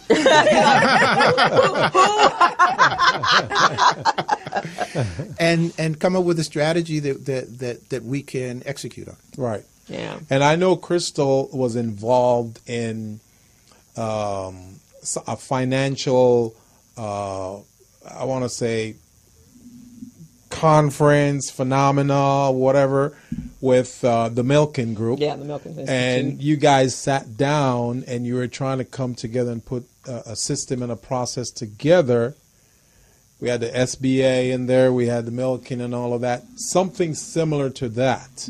Yeah, and since you've already been down that road, maybe you can change. You can share some strategies that you guys use in that, and and I don't know what the outcome was. Well, actually, there white it was a white paper created, and I can forward I can uh, uh, provide you guys with that. So it was a study. It was a study. It was a two-year initiative that was implemented in Los Angeles and in Baltimore, where the bulk of African Americans.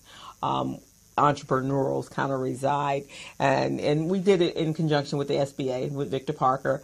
And uh, so we broke up and he called in all of the um, CBOs and we talked about the challenges and the, and the problems. And then we actually created solutions.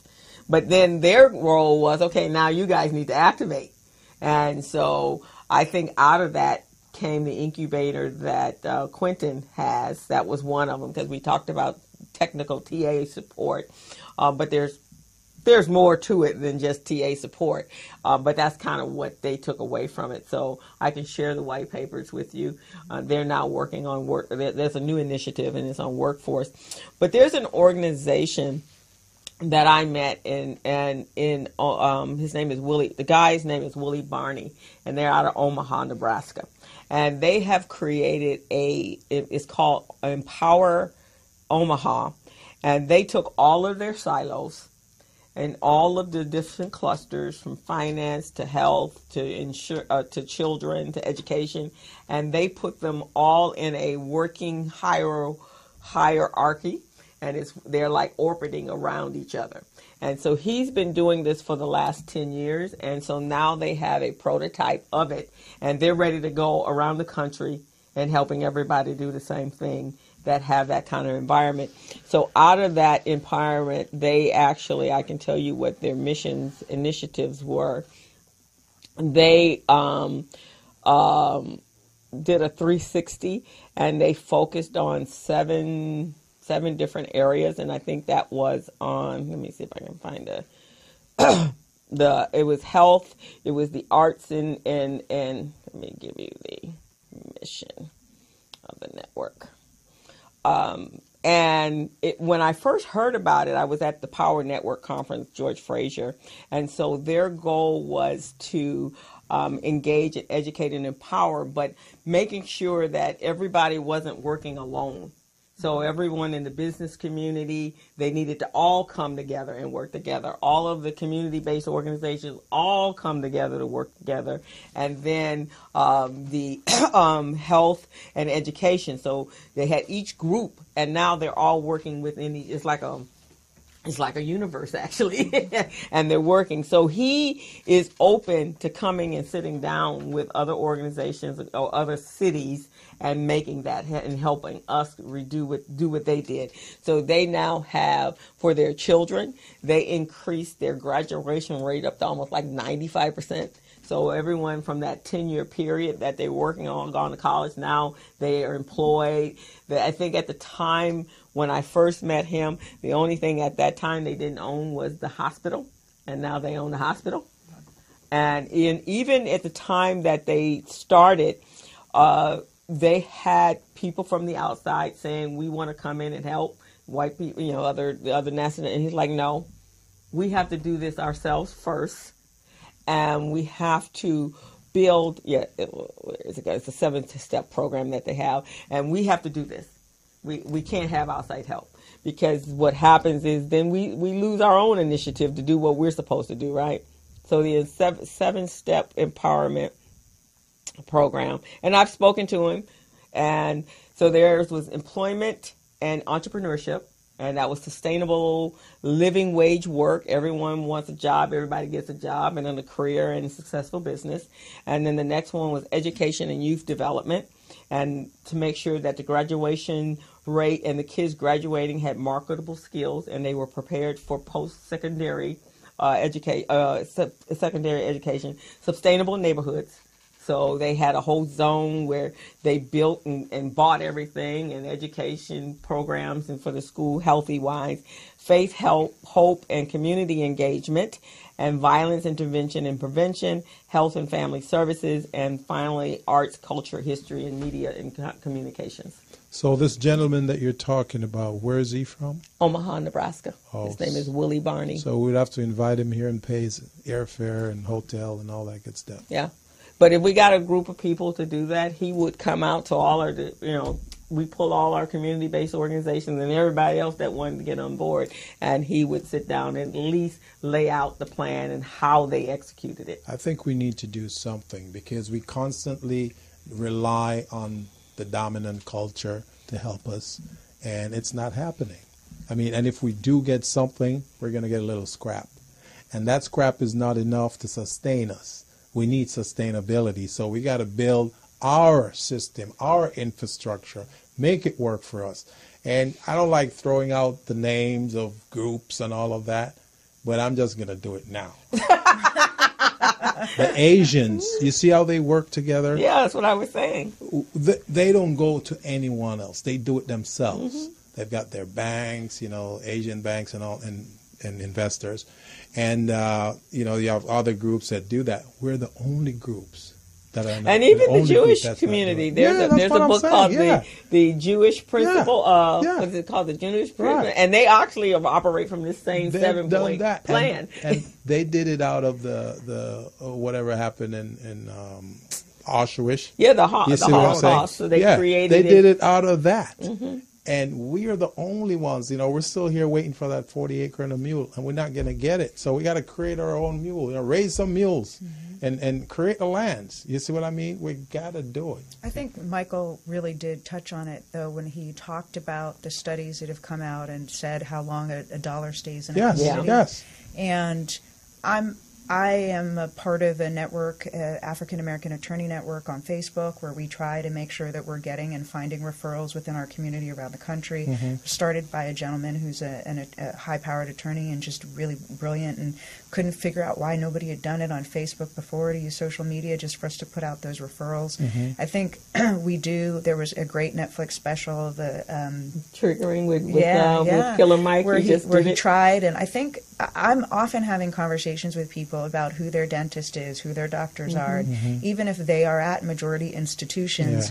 Um, what you find is they can be at a majority institution and still languish because they're not the first choice for the majority patient, but they should be ours. Right. And I think there there is still a mentality, which again we can talk about where it comes from. And it's a long s- slave narrative about how we've been taught to distrust each other. And, um, but but you know, and it's the the um, psychology of low expectations Yeah. that we have for ourselves and we have for each Yeah. other. But we've got to move past Right. it. Yeah, yeah. And um, businesses don't always offer you the best customer service. No. That's every business.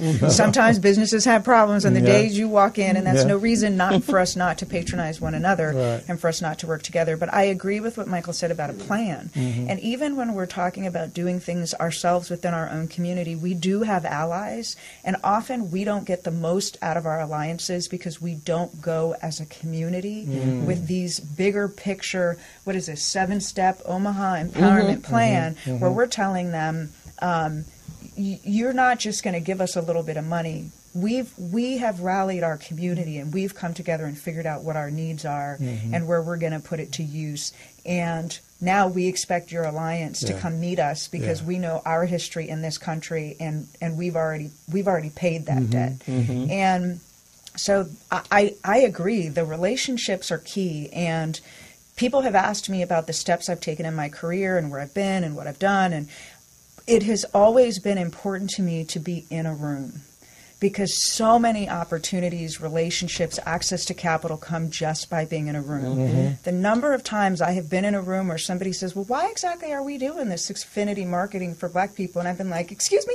I guess I was supposed to be here today uh-huh. Yeah. to remind you that mm-hmm. this is not a question you get to ask That's right. Mm-hmm. today. We have paid this forward Right. Mhm. already. And in corporate America, if we are not there constantly mm-hmm. reminding people mm-hmm. that there is a debt to be paid, that we are a valuable source and community in this country, sometimes that gets lost on mm-hmm. people because we, we see it from our own perspective. Yeah. And so it's about building the relationships, but it's also about making sure our pipeline says to our young people, to our old people, to everybody, go get where you need to get and be okay being the only one in the Right, room and be right. okay standing up for something mm-hmm. and be okay trying to navigate those relationships and take what you learn back to mm-hmm. our community mm-hmm. because we have been divorced for so long from the the whole process of something. They kept us down here, and we mm-hmm. didn't see that whole process, which is why workforce readiness is also something that I really appreciate because I think Right. we need to get into places and see what people do and how mm-hmm. businesses run and what's mm-hmm. successful and see models of leadership and other things. Um, because one thing about this Empower Omaha concept is we see the successes of big tech companies like Uber and Facebook, and maybe Facebook's not a good example, but we see that.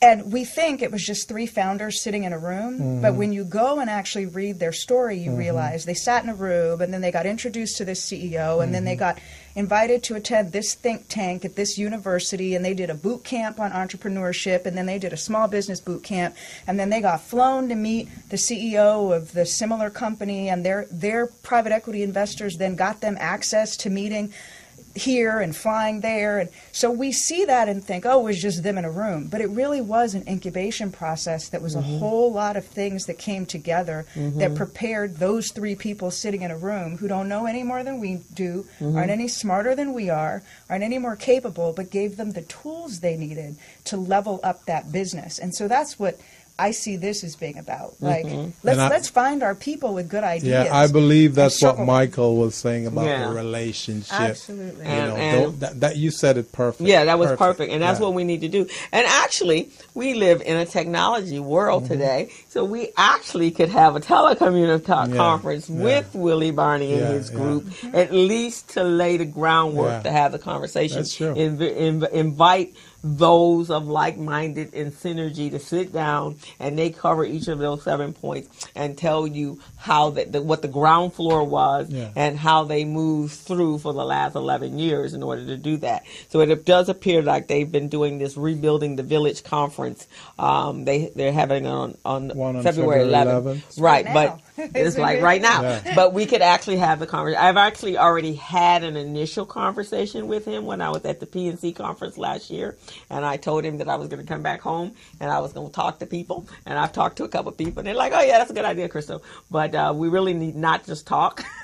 Can you can you reach out to him? I can. and let's organize a conference. And if Michael is available and Shawn, we can do this. I'm I'm all for it. So you guys tell me what you guys want to do, and I will be give him a call next week, and let's see what we can Yeah. get some dates, and Because we'll reach out, and then I guess we need just to sit down and Yeah. say who do we want to invite Right. to this meeting.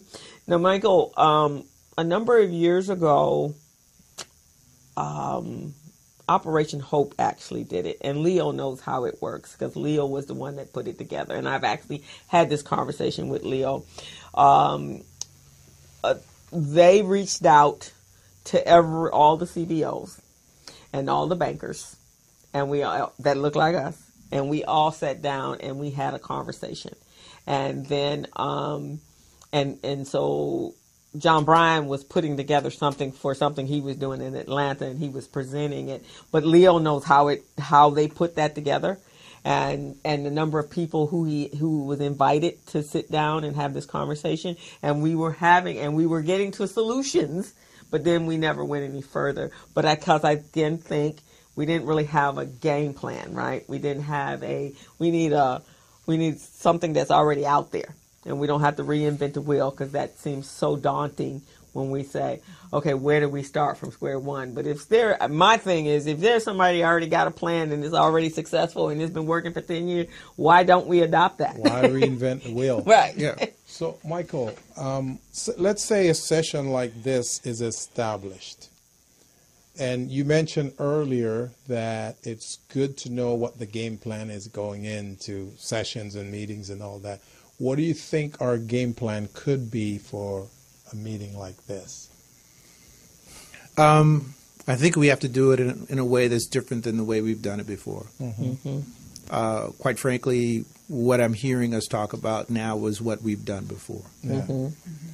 We sit down, we have a conversation, we map something out, we say, oh, this would work, and how do we do this? And we look around the table and we wait for somebody to write the first check.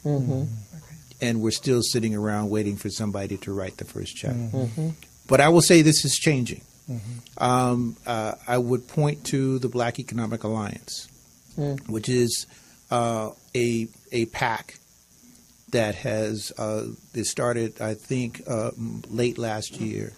It's an African American PAC that is uh, where uh, people of uh, who who have the the resources wrote the check, and there is money in the pot to have an influence on the uh, the, the the the politics of this country in a significant way. But it starts with people making the commitment. If you don't make the commitment, you don't get a seat at the table. Right. Uh, and then once you have that, now you move on. And this is not a new new concept. This is the, I'm borrowing it from the Jewish tradition. Mm-hmm. You, where's your check? I need it now. Yeah. There you And go. if you don't have, if you're not putting in the check, you don't have a comp, you don't have a say in how Mm-hmm. this thing is, is is running. Now, I'm not suggesting that um, we have to limit this to uh, our, our, our brothers and sisters in the financial services industry who have all of that money, but we have to meet people where they are. Mm-hmm. And once you have that commitment, however small, as long as it's significant to that person, that person is now invested. And once you have someone invested in this this uh, this what we're whatever we're going to put together, now people are paying attention, and, and the next the next step, which is the step that that that we we don't take. We've had fits and starts in this idea for a long time. Now, mind you, I am not ignoring the fact that we were so far ahead when we had Black Wall Street in Oh, Oklahoma, and yeah, it was sure. destroyed. Now, Yeah. and understand, there's no question about it.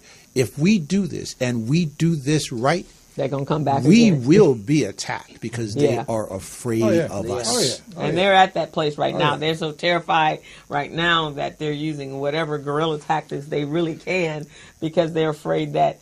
And I think I mentioned to Shawn, and, and, and it makes sense to me. If I was sitting in their shoes, doing, having done what they've done, then they're probably going, wow, why haven't they attacked us? I'm waiting for them to attack us, right? Because mm-hmm. that would be the human reaction to what's going on. The more they suppress, at some point you're going to back them into a corner and they're going to come out and they're going to just to tear to the wind and say, okay, we're done with this. And we're almost there.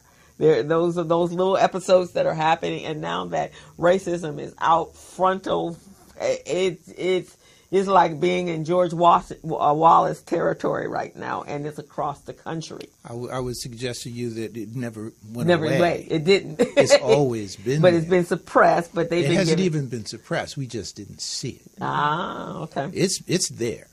It's and and, and make no mistake that it, it is prevalent and and and now they feel comfortable saying it out loud, Mm-hmm. but they were saying it when we weren't in the room. Oh yeah. So it, it has Yeah, because they're too comfortable saying it now Oh. for it not to have been conversations Right. already being had. Ex- exactly, Mm-hmm. exactly. So we need to be very intentional about what we're going to do, and we have to, we we have to put some skin in the game to move this thing forward, and and and we can do it. We we are the most resilient people on the planet. We are the strongest people on the planet, and it has taken all of their efforts to try to keep us down. And so, so once once we get back on our feet, and we are in the process of doing so, and that's that's a function of us working together as opposed to working alone. Yeah. Um, the, the, we are we are a powerful force, as you guys mentioned in the other sec- session. We are the most creative people on the planet. Mm-hmm. You can't go anywhere in the planet without seeing some some some vestige of Black American culture, mm-hmm. and and we are not the ones spreading it. Right. so they are coming here, taking what we have, Yeah. and and and reproducing it. Mm-hmm. We are the we're the smartest people on the planet, and they know that the only way to to defeat us is with force and incarceration, uh, and and literally killing us. yeah. Yes. That that that is the only way to to to keep us down. So we need to understand how powerful we are. We do not understand our own strength. We So- do not understand our own I strength. think um, building that into um, strategy, going in with a strategy, is also recognizing that they're going to come after us too. Oh yeah, we know that. and put that strategy to counteract that because it's going to happen. You know, any successful entrepreneur ideas, invention, you always have knockoffs. You always have, you know, someone trying to emulate you or, or suppress you. Like they call them the big box. The big box guys try to step on you. And if they can't step on you, then they try to bring, first they try to buy you out. Oh, acquisition. Yeah. Mm-hmm. And if that doesn't happen, then they try to partner with you. Mm-hmm. And when they partner, then they try to suppress you while you're a partner. you see what I'm saying? So that's part of our strategy here where we want to put that strategy going into this and anticipate that those things are mm-hmm. going to happen so our strategy can, you know, circumvent those things. And I think the, the Asian is absolutely right, though. You're, you're you have to use a stealth type of. oh, yeah. You got to be stealth. because you got to build the foundation Yeah. strong enough so You that while you're stealth. stealthily doing it, Yeah. um, then and by the time they do get to you, Mm-hmm. and if your links are strong, You've got your reinforcements. then you, you, you, you know, it's, it's, it's harder to im- um, break through a, Yeah. a strong link. But it will all of us fragmented, which was the reason the colonizers did that in the first place, was to make sure that there was always weak links. this is definitely a great discussion. I just wanted to piggyback on your your uh, analogy to the, the the Asian strategy because part of it is having a long term vision. Yeah. Yes, you got to have a long term, like stock, like you're investing an investment. Right. So you're, we're we're not doing it for us. We're doing it for our gener- our children below us. That's why I work so hard with you know the biz camp and everything because it's not about us. Right. Mm-hmm. It's about our children. Mm-hmm. But right now, I look at my nephews, and they're coming out of school with loans, and they, they can't leave home. They literally cannot leave home Right. because they can't afford to leave home. They can't leave home and the parents can't stop working because they're paying the mortgage. Right, you're paying So the ev- mortgage. everybody, everybody's locked down. Yeah. Uh, but the fact of the matter is, we are where we are because we didn't get that head start. Mm-hmm. Every generation mm-hmm. starts over. Right. You guys have talked about this Yeah. so many times. Yeah. You understand it. Your mm-hmm. audience understands it. We have to start the next generation with a head start. Yes. Yeah. Legacy. We have to create Yes. the legacy. Interge- the intergenerational transfer of wealth has got to be for, first and foremost on our minds. I think so. So, Crystal, what's our next move on this? Uh, Gotta reach out to Mr. I yeah, I- you guys. Seven I'll steps. call him and find out what dates, and then we put together some dates. And Okay. Michael, you're sitting at the table. Shawn, you're sitting at the table. Let's Yeah. get some people that we know gonna make a move, and not just talk about it, and let's Who are make it happen. Who are some of the other people that we can get? I, I was just going to add, his event is coming up, so Yeah. to the extent that he will let us dial in to some portion of that, or Yeah. I will. you know, I will ask that question. That I would be will. great. Um, I will. I'll ask all those questions. Yeah, because they have that event coming up on February 11th, and then and then, um, and they're not even a big group. They're a small little group of people that have just But see, done you couldn't of- tell. Looking at this, you couldn't tell. No, yeah. You when you look at this, this is literally. I think it popped. That's their whole group. See, I do agree with the stealth idea. I've been saying stealth for the longest time. You know, when they do see you is when you're super prominent. There's nothing they can do. There's nothing they can, it's not there's too nothing they can do. There's nothing they can Right. do about it. yes, a small group of dedicated people Exactly. do wonders. Oh, Will yes. do wonders. Absolutely. Oh, yes. Absolutely. And if we care about our community, we care about our children, we care we care about us as black people, then that's the, the, the requisite right there. None of the nonsense, none of the drama. We just got one focus and one focus on it that we're leaving something better for the children that are not even here yet. Right. Right. So We we're at the top of the hour, and uh, this time went by so quickly. I know. We had two great guests. Yes, this is phenomenal. great conversation. Um, I, um, so our action items, I'll make a phone call on Monday. Yes, and then we'll go from there. Yes. And actually, this Monday, has to happen. Yeah, well, actually, Monday has will be to in a conference, but I'll leave a message for somebody. But I have their Yes. their, their information, Yeah, so I'll make a phone happen. call. And I think that's the case, and then we'll go from there. So we want to thank our very special guest. Do, do both of you have some final parting words you want to share with our audience? I just want to thank you for inviting me. This has been wonderful. This type of conversation is the one that we need to have more and more, and we need to follow it up with action. And I love the fact that we fo- we have our action plans together. Yes. Thank you so much. You're welcome, Shawn. I, I just wanted to share something that always heartens me. It's a quote from Martin Luther King Jr., and it says, Human progress is neither automatic nor inevitable. Every step towards the goal of justice requires sacrifice, suffering, and struggle, the tireless exertions and passionate concerns of dedicated individuals. And it, it feels daunting at times, but, but it, it's what we're here for. Yeah. Yeah. You know, it's our our liberty, our economic advancement, the eradication of poverty Yeah. and um, economic ins- instability Yes. are are going to take every day, Mm-hmm. and we should be proud of those efforts every day. Yes. Thank Okay, you so Fantastic. much. This has been wonderful. It's been fantastic. Um, you Yeah, got but- anything coming up? Well, I have a workshop at the Vermont Slauson Economic Development Center every Tuesday from 5:30 to 9 9 p.m. and uh, this is at 1130 West Slauson Avenue, Los Angeles. Uh, the class that's coming up this Tuesday is uh, procurement and uh, finding contract opportunities. This past Tuesday we had certifications. This time we've had procurement, so it's going to be great. Okay, and I'm doing the digital marketing classes, helping our business owners create multiple streams of income. Um, any way that they can bring in more money other than what they're doing from their businesses, which you know sometimes just doesn't work. And so I'm doing that.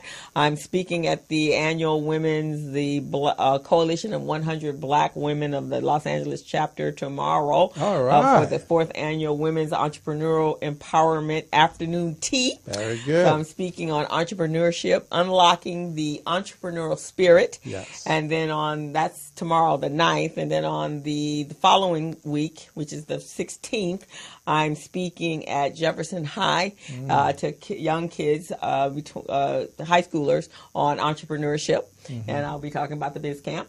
And then we're actually launching, we starting the 15th, we're doing a Biz Camp. It's actually with the YEC, and we're selecting nine kids to represent the Los Angeles Urban League, and we're uh, these kids are going to compete. They're going to create a joint project, and they're going to compete for a thou- five thousand dollar um, uh, prize, and that's being sponsored by Union Bank and the YEC. And we also want to let you we also want to let you all know that the winner of that partic- that that uh, competition will be on our show as a Mm-hmm. Yes, for sure. right after. And then we're gearing up for our 2019 Biz Camp and Yes. summer camp that we do in the summer in June and July. So we're gearing up with that and putting the plan together. And we will be educating 50 students, uh, young people between the ages of 14 and 18. It's beautiful. So that's what we're doing. Excellent. Excellent. Beautiful. All righty, guys. It's been a fantastic uh, show again. Um, I will provide you both with the clip from the show so you can put it on your websites or wherever you want to do with Do it. you want to real quickly give a, a phone number, an Yeah. address, location, how people can get a hold of you? Um, I can be reached. I'll give you my personal email, michael.lawson at laul.org. Uh, we're at 4401 Crenshaw Boulevard, Suite 201. Excellent. And I'm Shawn Ray White at gmail.com. Okay. Excellent. All righty, guys. So enjoy your Black History uh, Week activities, and we will be back next week. We will. I will have gone through a whole lot of Black uh, Black History uh, events next week. It's like on and kicking now. Uh, the Pan African Film Fest is in place starting um, this week, I think. And so it'll be there, and there's a bunch of stuff going on. So you guys enjoy. Share on our Facebook page, The Business Zone with Crystal and Gilbert, where you're going. And we'll see you next week. And Have as, a you, as week. you know, the Business Zone is on every Friday from 3 to 5, morrismedialive.com, and we look forward to having you. We're out. All right. Bye-bye. Bye-bye. See you next week. As a small biz pro, that's how we roll. Using procurement, program, and control. As a small biz pro, that's how we grow. Using procurement, program, and control. I'm a businessman, yes, I'm an entrepreneur. Oh, yeah. I'm a businessman, yes, I'm an entrepreneur. Oh, yeah. I'm a businessman. Yes, I'm an entrepreneur. A businessman. Yes, I'm an entrepreneur. Ooh, yeah. Crystal Mitchell, do you have my business plan? Just review the pages of my marketing plan. Crystal Mitchell, do you have my business plan? Just review the pages of my marketing plan. Got my capability statement, yes, I'm ready to go. Got my balance sheet, my P&L, my statement of cash flow. I'm a businessman, yes, I'm an entrepreneur. Ooh, yeah. I'm a businessman, yes, I'm an entrepreneur. Ooh, yeah. I'm a businessman, yes, I'm an entrepreneur. I'm a businessman, yes, I'm an entrepreneur. Oh yeah, yeah, yeah. Crystal Mitchell, do you have my business plan? Just review the pages of my marketing plan. Crystal Mitchell, do you have my business plan? Just review the pages of my marketing plan. Got my capability statement, yes, I'm ready to go. Got my